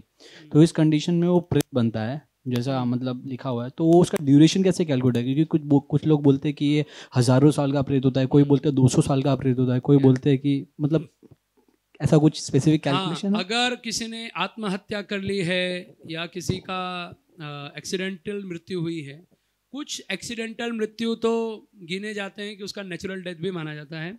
कुछ ऐसे डेथ होते हैं जो प्रेत लोग स्वयं करवाते हैं। जैसे हम लोग अपनी जनसंख्या बढ़ाते हैं ना, भक्तों की, हम प्रचार कर करके लोगों को भक्त बनाने का प्रयत्न करते हैं। उसी प्रकार प्रेत लोग भी अपनी संख्या बढ़ाते रहते हैं। वो क्या करते हैं मालूम है? चलते, आप कभी नोटिस करना, जिस जगह ज़्यादा एक्सीडेंट होता है, उसी जगह हर बार एक्सीडेंट होता रहता है। वहाँ कुछ नहीं होता, फिर भी एक्सीडेंट होता है। क्यों होता है? क्योंकि प्रेत लोग वहाँ बैठे रहते हैं। वो उनका मेन स्पॉट होता है, जहाँ से कलेक्शन ज़्यादा करते हैं। जैसे हम रथ यात्रा से भक्त बनाते हैं, वैसे उनका वो कलेक्शन होता है कलेक्शन एरिया होता है। तो वहाँ बहुत सारे एक्सीडेंट करवाते रहते हैं, उनके बहुत सारे प्रेत बनते रहते हैं। तो क्या अपना कम्युनिटी रहेगी तो मज़ा आता है ना थोड़ा बातचीत करने में वगैरह वगैरह। अकेले बैठ के क्या करेंगे? तो इसके लिए कुछ लोग अपनी कम्युनिटी बढ़ाने के लिए वो प्रेत लोग स्वयं उनको मारते हैं। तो जो लोग ऐसे अकाल मृत्यु को प्राप्त होते हैं उनको कम से कम सौ, पाँच सौ वर्ष एक ही स्थान पर रहना पड़ता है। तो अब क्या करें? तो अकाल मृत्यु जनरली होती नहीं है अगर कोई व्यक्ति कुछ नियमों का पालन करे। जैसे घर में शुद्धता रखे, घर में अशुद्धि ना रखे शौच के नियमों का पालन करे, ब्रह्म मुहूर्त में उठे और सदैव दान करे तो उनका कभी भी अकाल मृत्यु नहीं होता। अकाल मृत्यु हरणम सर्वव्याधि विनाशनम विष्णु पादोदकम पित्वा पुनर्जन्म न विद्यते। जो चरणामृत धारण करता है ना, उसका कभी अकाल मृत्यु नहीं होता है। ठीक है, बहुत सिंपल एंड स्वीट ये प्रोपा जी की कृपा है। फिर भी अगर किसी की हो जाए तो चिंता करने की आवश्यकता नहीं, उसको प्रेत शरीर में तो वो वैसे नहीं जाएगा। उसका यदि हम लोग अगर किसी का अकाल मृत्यु हो जाए तो उसके लिए यदि नारायण नागबली होता है नासिक में जाके कराना चाहिए, एक वर्ष के बाद। या किसी ने आत्महत्या की तो भी नारायण नागबली की जाती है तो उसको प्रेत शरीर से मुक्ति मिल जाती है। ये उनको ही मुक्ति नहीं मिलती जिनका पिंडदान या श्राद्ध नहीं होता, वही लोग अटके रहते हैं, या जो लोग आत्महत्या करते हैं। जो लोग आत्महत्या करते हैं ना, वो लोग ध्यान से सुन ले। जो लोग भी आत्महत्या करते हैं, ये क्लियर लिख लो कि जितनी आयु बची है, उसको इंटू हंड्रेड गिन लीजिए आप। अगर दस साल जीना इंटू हंड्रेड एक हज़ार साल। बीस साल जीना है तो? पचास साल। इसलिए अगर आत्महत्या किया ना तो एक सेकंड का शांति मिल जाएगा। अरे, ये प्रॉब्लम से बच गए। लेकिन इतना लंबा जीवन, और सोचिए आप, बस घूमते रहो। भूख लग रहा है, खाना नहीं मिलेगा। हाँ और प्रेतों को भूख प्यास लगती है। इसलिए वो गर्भ में किसी के जाने का प्रवेश करते हैं, किसी के शरीर में प्रवेश कर जाते हैं। और जिनको ये भूत प्रेत पकड़ते भी हैं ना, मैं उनकी बात कर रहा हूँ कि वो उन्हीं को पकड़ते हैं जिनका मन बहुत कमज़ोर होता है, उसको ही पकड़ते हैं। इसलिए ज़्यादातर स्त्रियों को प्रेत बहुत दिखाई देते हैं। कुछ याद आया लेकिन बोलूँगा नहीं। ठीक है। और कोई प्रश्न है? अच्छा, पूजी वो जो अच्युत गोत्र का आप बोल रहे थे कि ये सन्यासी के लिए अलग होता है हाँ। तब जब कोई ऐसा डिवोटिस का कोई क्रिया करना रहता है या तो पिंडदान वगैरह? नहीं मालूम है तो कश्यप गोत्र बोल सकते हैं।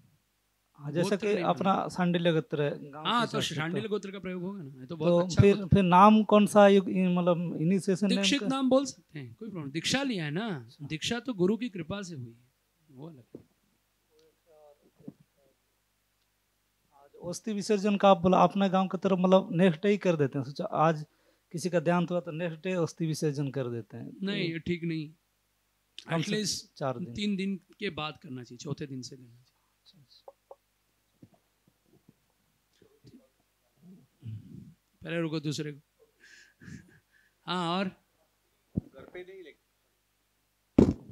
वो अस्थि घर पे नहीं लेके आते, इसके लिए शायद वो अगले दिन ही कर लेते हैं इट्स इन सम ट्रेडिशंस हाँ सम ट्रेडिशन वो इसलिए करते हैं, लेकिन अस्थि घर पे नहीं लाए कोई प्रॉब्लम नहीं है, लेकिन अस्थि को तुरंत दाह नहीं विसर्जन नहीं करना चाहिए, क्योंकि हमारी चेतना भी शांत होनी चाहिए ना। अभी किसी की मृत्यु हो गई और हम लोग के अंदर वो बहुत ज़्यादा उसके प्रति दुख होता है तो उसकी मुक्ति के लिए ही ये होता है, लेकिन अस्थि दान के लिए थोड़ा दो तीन दिन रुकना चाहिए, ऐसा तुरंत तुरंत अभी आपके घर में आज मृत्यु हुई और कल आप निकल गए अस्थि विसर्जन करने के लिए नासिक चले गए हरिद्वार चले गए। ये सब ठीक नहीं है क्योंकि लोग आते हैं मिलते हैं बातचीत करते हैं तो थोड़ा रुकना चाहिए लोगों को। थोड़ा at least two three days इसका सिग्निफिकेंस भी है अभी समय मैं एक्सप्लेन नहीं कर पा रहा हूँ लेकिन इतना ध्यान रखिए कि एटलीस्ट टू थ्री डेज़ तो रुकना चाहिए तुरंत तुरंत अस्थि विसर्जन नहीं करना चाहिए। हम्म, और कोई? हाँ mic without mic not accepted your question Hare Krishna. आपने जो बोला था अस्थि में से विष निकाल दिया जाता है तो हाँ। वो कैसे? वही पंचगव्य बनाते हैं ना दूध दही घी तो अस्थि में लेकिन विष होता है। हाँ हाँ विष होता है। हमारी जो मृत्यु होती है ना हमारा मृत्यु छोड़ो अगर ऐसे भी हमारा शरीर का हड्डी रह गया तो उसमें विष आ जाता है। हम्म, इसलिए हड्डी को अशुद्ध माना जाता है हमारे। इस केवल और केवल कुछ ही हड्डी है जैसे शंख उसमें विष नहीं रहता है। बाकी सब हड्डियों में विष होता है। रक्त रहता है ना उसके अंदर हड्डी के अंदर भी रक्त होता है तो कन्वर्ट हो जाता है। क्योंकि जनरली ऐसा देखा जाता है जब स्मशान हम जाते हैं तो जिसके भी हम उसका वहाँ पर अग्नि संस्कार करते हैं तो वहाँ पे ही मटका दे के आ जाते हैं और हाँ। उसको बोल दिया जाता है कि इसमें आप सिर्फ़ अस्थि रख देना और वो लेके वहाँ से वहाँ नहीं लेकिन उनके हाथ में नहीं देना चाहिए कि वो अस्थि कलेक्ट करें। हमको स्वयं जाके अस्थि कलेक्ट करके वहाँ रख के फिर आ जाना चाहिए। वो आपको बोलेंगे कि चार पाँच घंटे बाद आ जाओ। हाँ। लेकिन कभी भी जलते शव को छोड़ के नहीं आना चाहिए। परिवार का कोई एक दो व्यक्ति वहाँ पूरा शव जल के जब तक नष्ट नहीं हो जाए पूरी तरीके से तब तक वहीं किसी एक दो व्यक्ति को रहना चाहिए। क्योंकि कभी कभी क्या होता है आपको यहाँ का तो नहीं पता हमारे वाराणसी की बात बताता हूँ। बहुत सारे जो मृत्यु होती है ना तो वहाँ पर बहुत सारे तांत्रिक होते हैं अघोरी होते हैं उनको यंग शव चाहिए, एकदम जवान व्यक्ति, मरा हुआ व्यक्ति चाहिए। तो वो क्या होता है, वहाँ पर काशी की एक विशेषता भी है। कितना भी बारिश होता रहे तो भी अग्नि जलेगी, एकदम लाओ, एकदम जोरदार जलेगा। और कितना भी अग्नि जलाओ, वो पूरा शरीर नहीं जलता है। उसको गंगा में बहा दिया जाता है। ये उधर का एक रूल है, क्योंकि वहाँ पे शिवजी कान में आके उसको मोक्ष प्रदान कराते हैं। और शिव जी उसके कान में आके राम नाम बोलते हैं। ऐसा इसलिए बहुत सारे लोग काशी में मरने जाते हैं। वहाँ पे तो स्पेशल घर बुक होते हैं। अभी मोदी जी ने थोड़ा हटा दिया। नहीं तो लोगों का एक बिज़नेस था कि अपना घर स्पेशली रखा रहता था कि आप आके यहाँ मरो और यहाँ से मुक्ति प्राप्त करो। तो लोग अपना लाइफ का एंड टाइम वहाँ जाके बिताते हैं काशी में। तो एनीवे anyway, मैं ये कह रहा था कि जो अस्थियाँ होती है ना अरे जो शरीर होता है जब तक पूरा जल ना जाए वहाँ से जाना नहीं चाहिए। नहीं तो क्या होता कभी कभी कुछ अघोरी होते हैं, कुछ लोग होते हैं, वो पूरा शरीर उठा के जलती हुई चिता में से शरीर को निकाल के लेके जाते हैं, उसके ऊपर बैठ करके वो अपनी साधना करते हैं, जिससे उनको सिद्धि मिलती है। वही तंत्र विद्या से उनका काम बनता है। तो वो लोग करते रहते हैं, लेकिन हम लोगों को कम से कम अपने परिवार को बचाने के लिए वो शरीर नहीं देना चाहिए। इतने बार तो वो लोग वहाँ पे वाराणसी में जाके मांगते हैं कि ये शरीर हमको दे दो करके। कितना पैसा चाहिए? लाख रुपए चाहिए, दस लाख रुपए चाहिए, मैं देता हूँ। और लोग कितने लोग दे देते हैं ना? यही तो प्रॉब्लम है। बहुत कुछ होता है। ठीक है तो आप जब किसी की मृत्यु हो जाए तो पूरा दहा होने तक कम से कम एक दो लोग वहाँ पूरा रुकना चाहिए। क्योंकि वो जो शमशान भूमि के लोग होते हैं ना, जिसको चांडाल कहा जाता है वास्तव में तो वे लोग क्या कर देते हैं, पूरा उसको उठा करके एक साथ ऐसे झाड़ू जैसा उठा के एक साथ साइड में कर देते हैं। वहाँ ऑलरेडी किसी और का भी अस्थि रहता है तो वो सब मिक्स हो जाता है। तो इसके लिए आपके यहाँ जो अस्थि है, उसको निकाल करके, ले करके उसको रखना चाहिए। अम, आपने बोला कि मिनिमम मतलब कम से कम एक साल हमें वानप्रस्थ के लिए जंगल में रहना चाहिए जाना चाहिए। तो लेकिन अभी ये जंगल पॉसिबल नहीं जंगल नहीं है तो आप तीर्थ स्थल में जाके रहिए। एक अच्छा साल पूरा वैराग्य। एक साल के लिए वानप्रस्थ मतलब नहीं नहीं सिर्फ़ एक one- साल के लिए नहीं होता है। एटलीस्ट वन ईयर आप फुल डिटैचमेंट लाइए अपने अ, अपने मन में शरीर में। तो उसके लिए थोड़ा कठोर नियम पालन कीजिए। उसके बाद में थोड़ा नॉर्मल हो जाइए और फिर वैराग्य रखिए, थोड़ा दूर रखिए घर से। माने उसका जो वानप्रस्थी व्यक्ति होता है ना, वो ज़्यादा उसका घर से रिलेशन नहीं होता। जैसे उसके, उसको पोता हो गया तो उसका बेटा फ़ोन करेगा, पिताजी आपको पोता हुआ है। तो बोलेंगे, ठीक है, उसके नामकरण के समय आ जाऊँगा। अभी हमने रिसेंटली कांदीवली में एक डिवोटी हैं, उनके माता पिता इतने भक्त हैं, वो उन्होंने वानप्रस्थ ले रखा है। वो पति पत्नी दोनों वृंदावन में ही रहते हैं। उनका पिता, उनका बहू, बेटा इतना लालच करते हैं कि कब मेरे माता पिता हैं मैं इनकी सेवा करूँ। और पिताजी हैं, कितना दिन है? बस मैं आ रहा हूँ, चार घंटे के लिए आ रहा हूँ। फिर यू टर्न और बेटे के अंदर भावना की कब मैं पिता की सेवा करें। बहू सोच रही कब मैं अपनी सास की सेवा करूँ। लेकिन किसी को समय नहीं मिलता, क्योंकि पिता भजन में लग गया है। तो वानप्रस्थ का मतलब है, वैराग्य की ओर जाना। अपने आप को बहुत आगे लेके जाना उसके लिए। ये एक्चुअली सन्यास की तैयारी होती है वानप्रस्थ आश्रम में। थैंक यू बहुत बहुत धन्यवाद आप सभी का। आप लोगों ने दो दिन सहन किया मुझे। और मैं सच में आभारी हूँ कि आप दो दिन तक इतना कंटिन्यू सुन पाए। बोलने में मज़ा आता है सुनने में। इतना नहीं होता लेकिन फिर भी आप लोगों ने धैर्यपूर्वक सुना। मैं आप सभी का आभारी हूँ। विशेषकर राधिका वल्लभ प्रभु जी का जिन्होंने ये अवसर प्रदान कराया। कि हम सभी को संस्कार के विषय में कुछ ज्ञान की प्राप्ति हो। मैं बहुत बहुत आभारी हूँ श्री श्री राधा गोपीनाथ जी का सभी वरिष्ठ भक्तों का। हरे कृष्ण। हरे कृष्ण।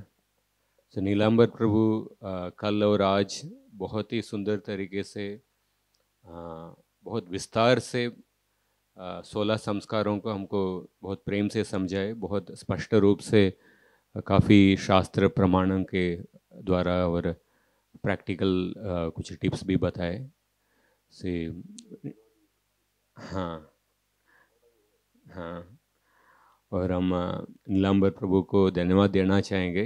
हाँ उन्होंने उनका काफ़ी बिज़ी शेड्यूल रहता है हर दिन उनका यज्ञ वगैरह करते हैं।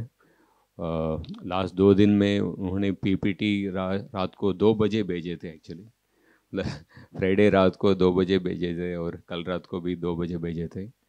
तो मैं भी सोच रहा था कैसे वो सोए क्या है पूरा दिन एक्चुअली बोल रहे थे, पर कैसे शक्ति मिल रहा है उनको मुझे मुझे भी विचित्र लग रहा है। पर पर दिनंबर प्रभु को मैं, मेरा हृदय से धन्यवाद देना चाहूँगा कि आपने इतने अच्छे से अपने संस्कारों के बारे में हमको समझाए।